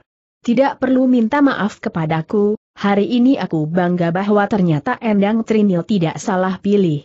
Kamu memang orang yang tepat baginya, berkata menak koncar sambil memegang bahu Putu Risang dengan hati dan jiwa penuh keikhlasan sebagaimana layaknya seorang kesatria memegang janjinya. Aku berharap semua yang telah kita perbuat di malam ini akan berlalu, kita lupakan seperti tidak pernah terjadi apa pun, berkata Putu Risang ikut memegang bahu menak koncar dan tanpa dorongan apa pun kedua pemuda itu terlihat sudah saling berpelukan, mereka seperti saling mengikhlaskan diri, sudah saling memaafkan satu dengan lainnya dan tidak ada lagi ganjalan apa pun di antara mereka. Dan bulan di atas langit malam begitu damai temaram cahayanya meneduhkan hati. Hari itu, masih tersisa 29 hari lagi menjelang purnama kedua. Dan di pagi itu bumi Majapahit sudah begitu ramai dipenuhi banyak orang yang berlalu lalang. Ada sebagian orang pergi ke sawah untuk memeriksa sawah-sawah mereka yang sudah mulai bunting padi hanya tinggal menunggu hari untuk dipanen. Sementara beberapa orang sudah berkumpul di tanah lapang seperti hari sebelumnya untuk berlatih sebagai sebuah pasukan khusus. Begitulah pembagian tugas di bumi Majapahit yang mulai tumbuh, mereka tidak pernah melupakan pentingnya persediaan pangan yang cukup, tanpa itu sekuat apa pun sebuah pasukan akan menjadi lemah bila persediaan pangan mereka tidak dipenuhi. Masih di bumi Majapahit, tepatnya di sebuah tepian sungai kecil berbatu, tiga anak kecil terlihat tengah bermain berlompat dari satu batu ke batu lainnya. Begitu gembiranya ketiganya melakukan itu. Sementara itu di tempat yang sama terlihat seorang tua duduk bersila di atas sebuah batu besar mengamati tingkah pola keriangan ketiga anak itu. Ketiga anak laki-laki itu tidak lain adalah Gajah Mada, Jaya Negara dan Aditya Warman. Sementara orang tua yang tengah duduk bersila di atas batu besar di sungai kecil itu ternyata adalah pendeta Gunakara. Anak itu tumbuh melampaui anak seusianya, berkata pendeta Gunakara mengamati Gajah Mada yang tengah berlari bersama Aditya Warman dan Jaya Nagara. Ternyata pengamatan pendeta Gunakara terhadap perkembangan tubuh Gajah Mada tidak beralasan, meski usianya terpaut beberapa tahun dari Aditya Warman dan Jaya Nagara, tubuh Gajah Mada telah menyamai mereka, bahkan dalam perkembangan selanjutnya, pendeta Gunakara merasa yakin bahwa Gajah Mada akan melampaui mereka, lebih tinggi dan lebih besar dari ukuran lumrah orang kebanyakan. Yunari Ratih datang untuk menjemput mereka, berkata pendeta Gunakara tanpa menoleh sedikit pun menyapa. Seseorang yang tengah datang di belakang dirinya mendekat, sementara matanya masih asik mengamati ketiga anak lelaki yang penuh keriangan tanpa lelah sedikit pun berlompat dari satu batu ke batu lainnya tanpa terjatuh. Terima kasih telah membimbing anak-anak berlatih ketahanan diri dan keseimbangan, berkata seorang wanita yang sudah berada di dekat pendeta Gunakara yang ternyata memang nyinari ratih adanya.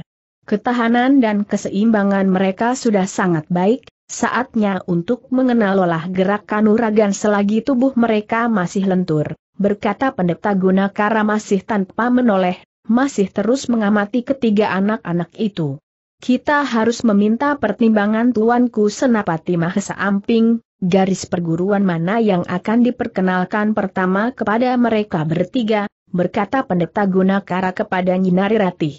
Benar, nanti malam kita bicarakan hal ini kepada Tuanku Senapati, berkata Nyinari Ratih kepada pendeta Gunakara. Dan tidak terasa matahari pagi sudah mulai naik merayapi lengkung langit bumi. Ketika berada di tanah wangi-wangi, sedikit banyak mereka sudah diperkenalkan dasar olah kanuragan oleh Ratu Anggap Haya sendiri yang mempunyai garis perguruan dan akar yang sama denganku. Berdasar hal itu, akan lebih mudah bagi mereka lewat jalur perguruanku, berkata Mahesa Amping di sebuah malam di atas pendapa pasanggrahannya bersama Ninari Ratih dan Pendeta Gunakara. Siapakah yang akan membimbing mereka? Bertanya Ninari Ratih kepada Mahesa Amping karena menurut pikiran dirinya bahwa tidak akan mungkin saat itu Mahesa Amping yang turun membimbing anak-anak itu, terutama dilihat dari kesibukan Mahesa Amping akhir-akhir ini. Putu Risang adalah pembimbing yang baik buat mereka, berkata Mahesa Amping kepada Nyinari Ratih dan Pendeta Gunakara. Mendengar keputusan Mahesa Amping yang sangat dihormatinya itu, terlihat Nyinari Ratih menerimanya dengan sangat senang hati, menurutnya olah kanuragan dari garis perguruan mereka yang telah disempurnakan oleh Mahesa Amping sendiri adalah sebuah olah kanuragan yang sangat hebat dan dirinya merasa terhormat bila Gajah Mada putranya itu telah diwariskan oleh kanuragan dari garis perguruan Mahesa Amping. Nanti aku sendiri yang meminta kepada Putu Risang untuk membimbing mereka setiap hari, berkata Mahesa Amping kepada Nyinari Ratih dan Pendeta Gunakara. Kita tunggu Putu Risang pulang, saat ini mungkin masih merapikan peliridan di sungai kecil, berkata Nyinari Ratih kepada Mahesa Amping. Terlihat Mahesa Amping menarik nafas perlahan, Yinari Ratih dan Pendeta Gunakara tidak tahu apa yang ada dalam pikiran Mahesa Amping yang teringat kejadian kemarin malam melihat langsung tataran ilmu Putu Risang. Mahesa Amping merasa yakin bahwa malam ini pasti Putu Risang tidak sekedar memperbaiki peliridan, tapi juga terus berlatih menempa dirinya. Sebagaimana yang diperkirakan oleh Mahesa Amping, ternyata Putu Risang benar-benar bukan sekedar memperbaiki peliridan, tapi dirinya terlihat tengah berlatih menempa kekuatan dan kecepatannya bergerak, mencoba mengukur dan mengendalikan perkembangan kekuatan dirinya agar dapat lebih mengenal kekuatannya sekaligus daya lontar yang mungkin dapat dihentakkan lewat ujung cambuknya, tentunya. Akhirnya di saat hari sudah menjadi sepertiga malam, barulah terlihat Putu Risang menyelesaikan latihannya. Ketika Putu Risang tiba di halaman pendapa pasanggrahan, dilihatnya Mahesa Amping dan Pendeta Gunakara masih ada di atas pendapa. Ternyata mereka memang tengah menunggu dirinya. Duduklah, berkata Mahesa Amping kepada Putu Risang. Akhirnya Mahesa Amping langsung berkata kepada Putu Risang tentang rencana mereka meminta kesediaan Putu Risang membimbing langsung Gajah Mada, Aditya Warman dan Jaya Negara dalam olah kanuragan. Pagi sepertinya datang begitu lambat, atau malam memang menjadi panjang. Pagi itu memang masih buta, masih gelap ketika Putu Risang masuk ke pakiwan untuk bersih-bersih diri, sengaja pagi itu tidak membangunkan Gajah Mada dan dua kawannya Aditya Warman dan Jaya Raga. Biarlah mereka tidur lebih lama, berkata Putu Risang memutuskan untuk tidak membangunkan mereka bertiga, juga tidak mengajaknya seperti biasa ke sungai kecil untuk mengambil ikan yang terjebak di peliridan mereka. Demikianlah, seperti hari sebelumnya, Putu Risang di pagi buta itu sudah pergi melangkahkan kakinya ke sungai kecil di ujung tepi hutan maja. Hari ini banyak ikan yang terjebak, berkata Putu Risang penuh kegembiraan melihat banyak ikan yang masuk ke dalam lubang perangkapnya. Cukup untuk makan dua kali, berkata Putu Risang sambil mengambil beberapa ikan dan langsung dimasukkan ke dalam korang yang dibawa dari rumah. Ikan petik besar, berkata pula Putu Risang sambil mengambil ikan petik besar itu. Terbayang di matanya wajah Gajah Mada yang akan menikmati ikan petik itu dibumbui palapa. Mahesa Muksa pasti senang sekali, berkata kembali Putu Risang penuh kegembiraan membayangkan Gajah Mada yang disebutnya Mahesa Muksa itu tengah menikmati ikan petik dibumbui palapa. Pagi ini hasil tangkapanmu lumayan banyak, berkata pendeta Gunakara kepada Putu Risang yang baru saja melangkah naik tangga pendapa. Penjaga sungai itu mungkin hari ini banyak berbelas kasih kepadaku, berkata Putu Risang yang disambut tawa oleh pendeta Gunakara. Aku tidak melihat tuanku Senapati, berkata Putu Risang bertanya kepada pendeta Gunakara tentang keberadaan Mahesa Amping yang dilihatnya tidak berada di pendapa pagi itu seperti biasanya. Seorang prajurit baru saja datang, meminta tuanku Senapati untuk datang ke pasanggrahan Raden Wijaya, berkata pendeta Gunakara memberi penjelasan keberadaan Mahesa Amping. Tangkapanmu banyak sekali, berkata Nyinari Ratih kepada Putu Risang di dapur belakang tengah menunggu perapian melihat ikan yang dibawa oleh Putu Risang. Demikianlah, setelah bersih-bersih diri di pakiwan, terlihat Putu Risang bergabung menemani pendeta Gunakara. Yang sendirian di atas pendapa. Pagi ini kamu akan membawa anak-anak ke tepi hutan, berkata pendeta Gunakara kepada Putu Risang. Benar, aku akan membawa mereka ke sana di tempat yang sama sebagaimana Tuan pendeta membawa dan melatih mereka selama ini, berkata Putu Risang kepada pendeta Gunakara. Sanggar terbuka membuat mereka tidak mudah lelah, berkata pendeta Gunakara kepada Putu Risang menyetujui pilihan Putu Risang menjadikan tepi hutan sebagai sanggar terbuka. Demikianlah, Pagi itu Putu Risang telah membawa Gajah Mada, Aditya Warman dan Jaya Nagara ke tepi hutan Maja. Aku akan datang menyusul, berkata pendeta Gunakara melepas kepergian mereka. Aku akan menyiapkan masakan yang enak untuk kalian, berkata Nyinari Ratih di ujung pagar pendapa melambaikan tangannya kepada mereka yang terlihat sudah melangkah di halaman muka. Ikan petik bumbu palapa, bunda, berkata Gajah Mada penuh kemanjaan kepada ibundanya Nyinari Ratih. Terlihat Nyinari Ratih dan Pendeta Gunakara masih mengikuti langkah kaki mereka yang sudah melewati gerbang gapura pasanggrahan dan menghilang di sebuah tikungan jalan setapak. Anak itu telah melampaui anak seusianya dalam perkembangan tubuhnya, berkata Pendeta Gunakara kepada Nyinari Ratih menanggapi perkembangan tubuh Gajah Mada yang memang terlihat lebih besar dari anak anak seusianya. Sudah menyamai tubuh Aditya Warman dan Jaya Nagara yang terpaut beberapa tahun darinya, berkata Nyinari Ratih menggapi perkataan pendeta Gunakara. Sebentar lagi aku akan menyusul mereka ke tepi hutan Maja, berkata pendeta Gunakara menyampaikan niatnya untuk melihat hari pertama mereka berlatih di bawah bimbingan Putu Risang yang dipercaya oleh Mahesa Amping dapat melakukannya dengan baik sebagaimana dirinya pernah membimbingnya bersama Empu Dangka di Bali Dwipa di Padepokan Pamecutan. Aku akan ke belakang, menyiapkan makan siang kita, berkata Nyinari Ratih kepada pendeta Gunakara yang sudah duduk kembali di atas pendapa. Ketika Nyinari Ratih sudah tidak kelihatan lagi menghilang di balik pintu butulan, terlihat pendeta Gunakara duduk bersimpuh di atas kau pendapa, matanya terlihat menerawang jauh menembus gerbang gapura pasanggrahan.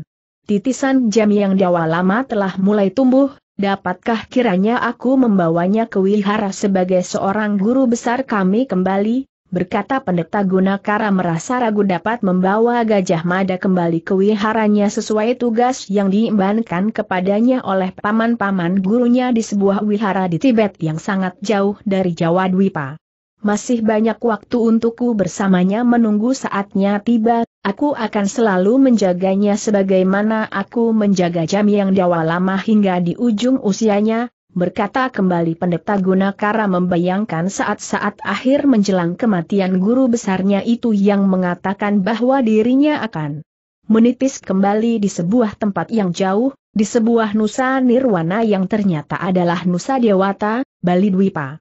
Dan pendeta Gunakara telah menemukan titisan guru besarnya itu terlahir dari seorang wanita bernama Nyinari Ratih, istri seorang pendeta muda bernama Dharmayasa.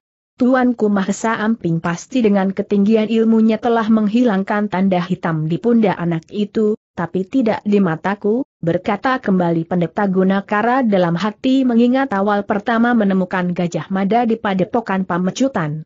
Sementara itu masih di bumi Majapahit, di pasanggerahan Raden Wijaya, terlihat Mahesa Amping sedang berbincang-bincang dengan pemimpin muda bumi Majapahit itu, Raden Wijaya.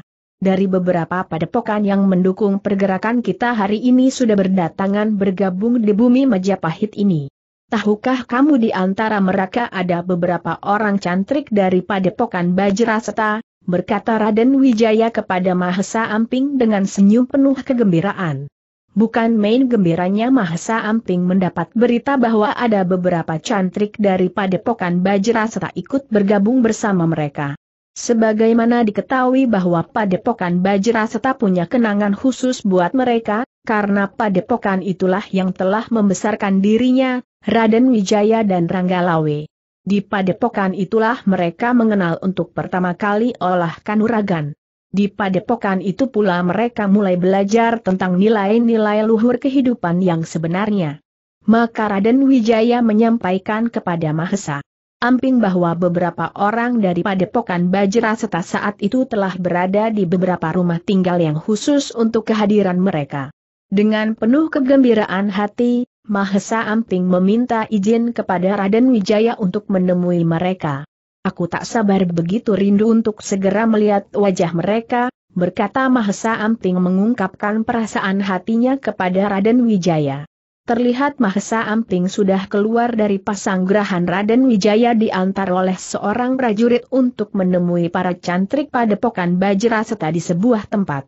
Bukan main gembiranya hati Mahesa Amping ketika bertemu dengan para cantrik dari Padepokan Bajraseta. Ternyata dari Padepokan Bajraseta itu telah mengirim seratus cantrik terbaiknya. Dan di antara mereka ada dua orang yang masih begitu sangat dikenalnya yang ternyata adalah Mahesa Semu dan Muntilan.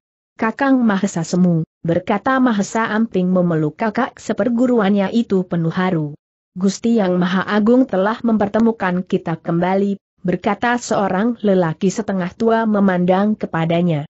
Paman Muntilan, setengah berteriak Mahesa Amping memanggil dan memeluk orang itu. Coba tebak, apakah kamu masih mengenalnya? Berkata Mahesa Semu kepada Mahesa Amping memperkenalkan seorang pemuda tanggung di hadapannya. Kamu pasti Mahesa Dharma, berkata Mahesa Amping memeluk anak muda di hadapannya yang ternyata adalah Mahesa Dharma, putra tunggal Mahesa Murti. Kalian bertiga ikutlah tinggal bersamaku, berkata Mahesa Amping menawarkan ketiganya untuk tinggal bersama di pasang gerahannya.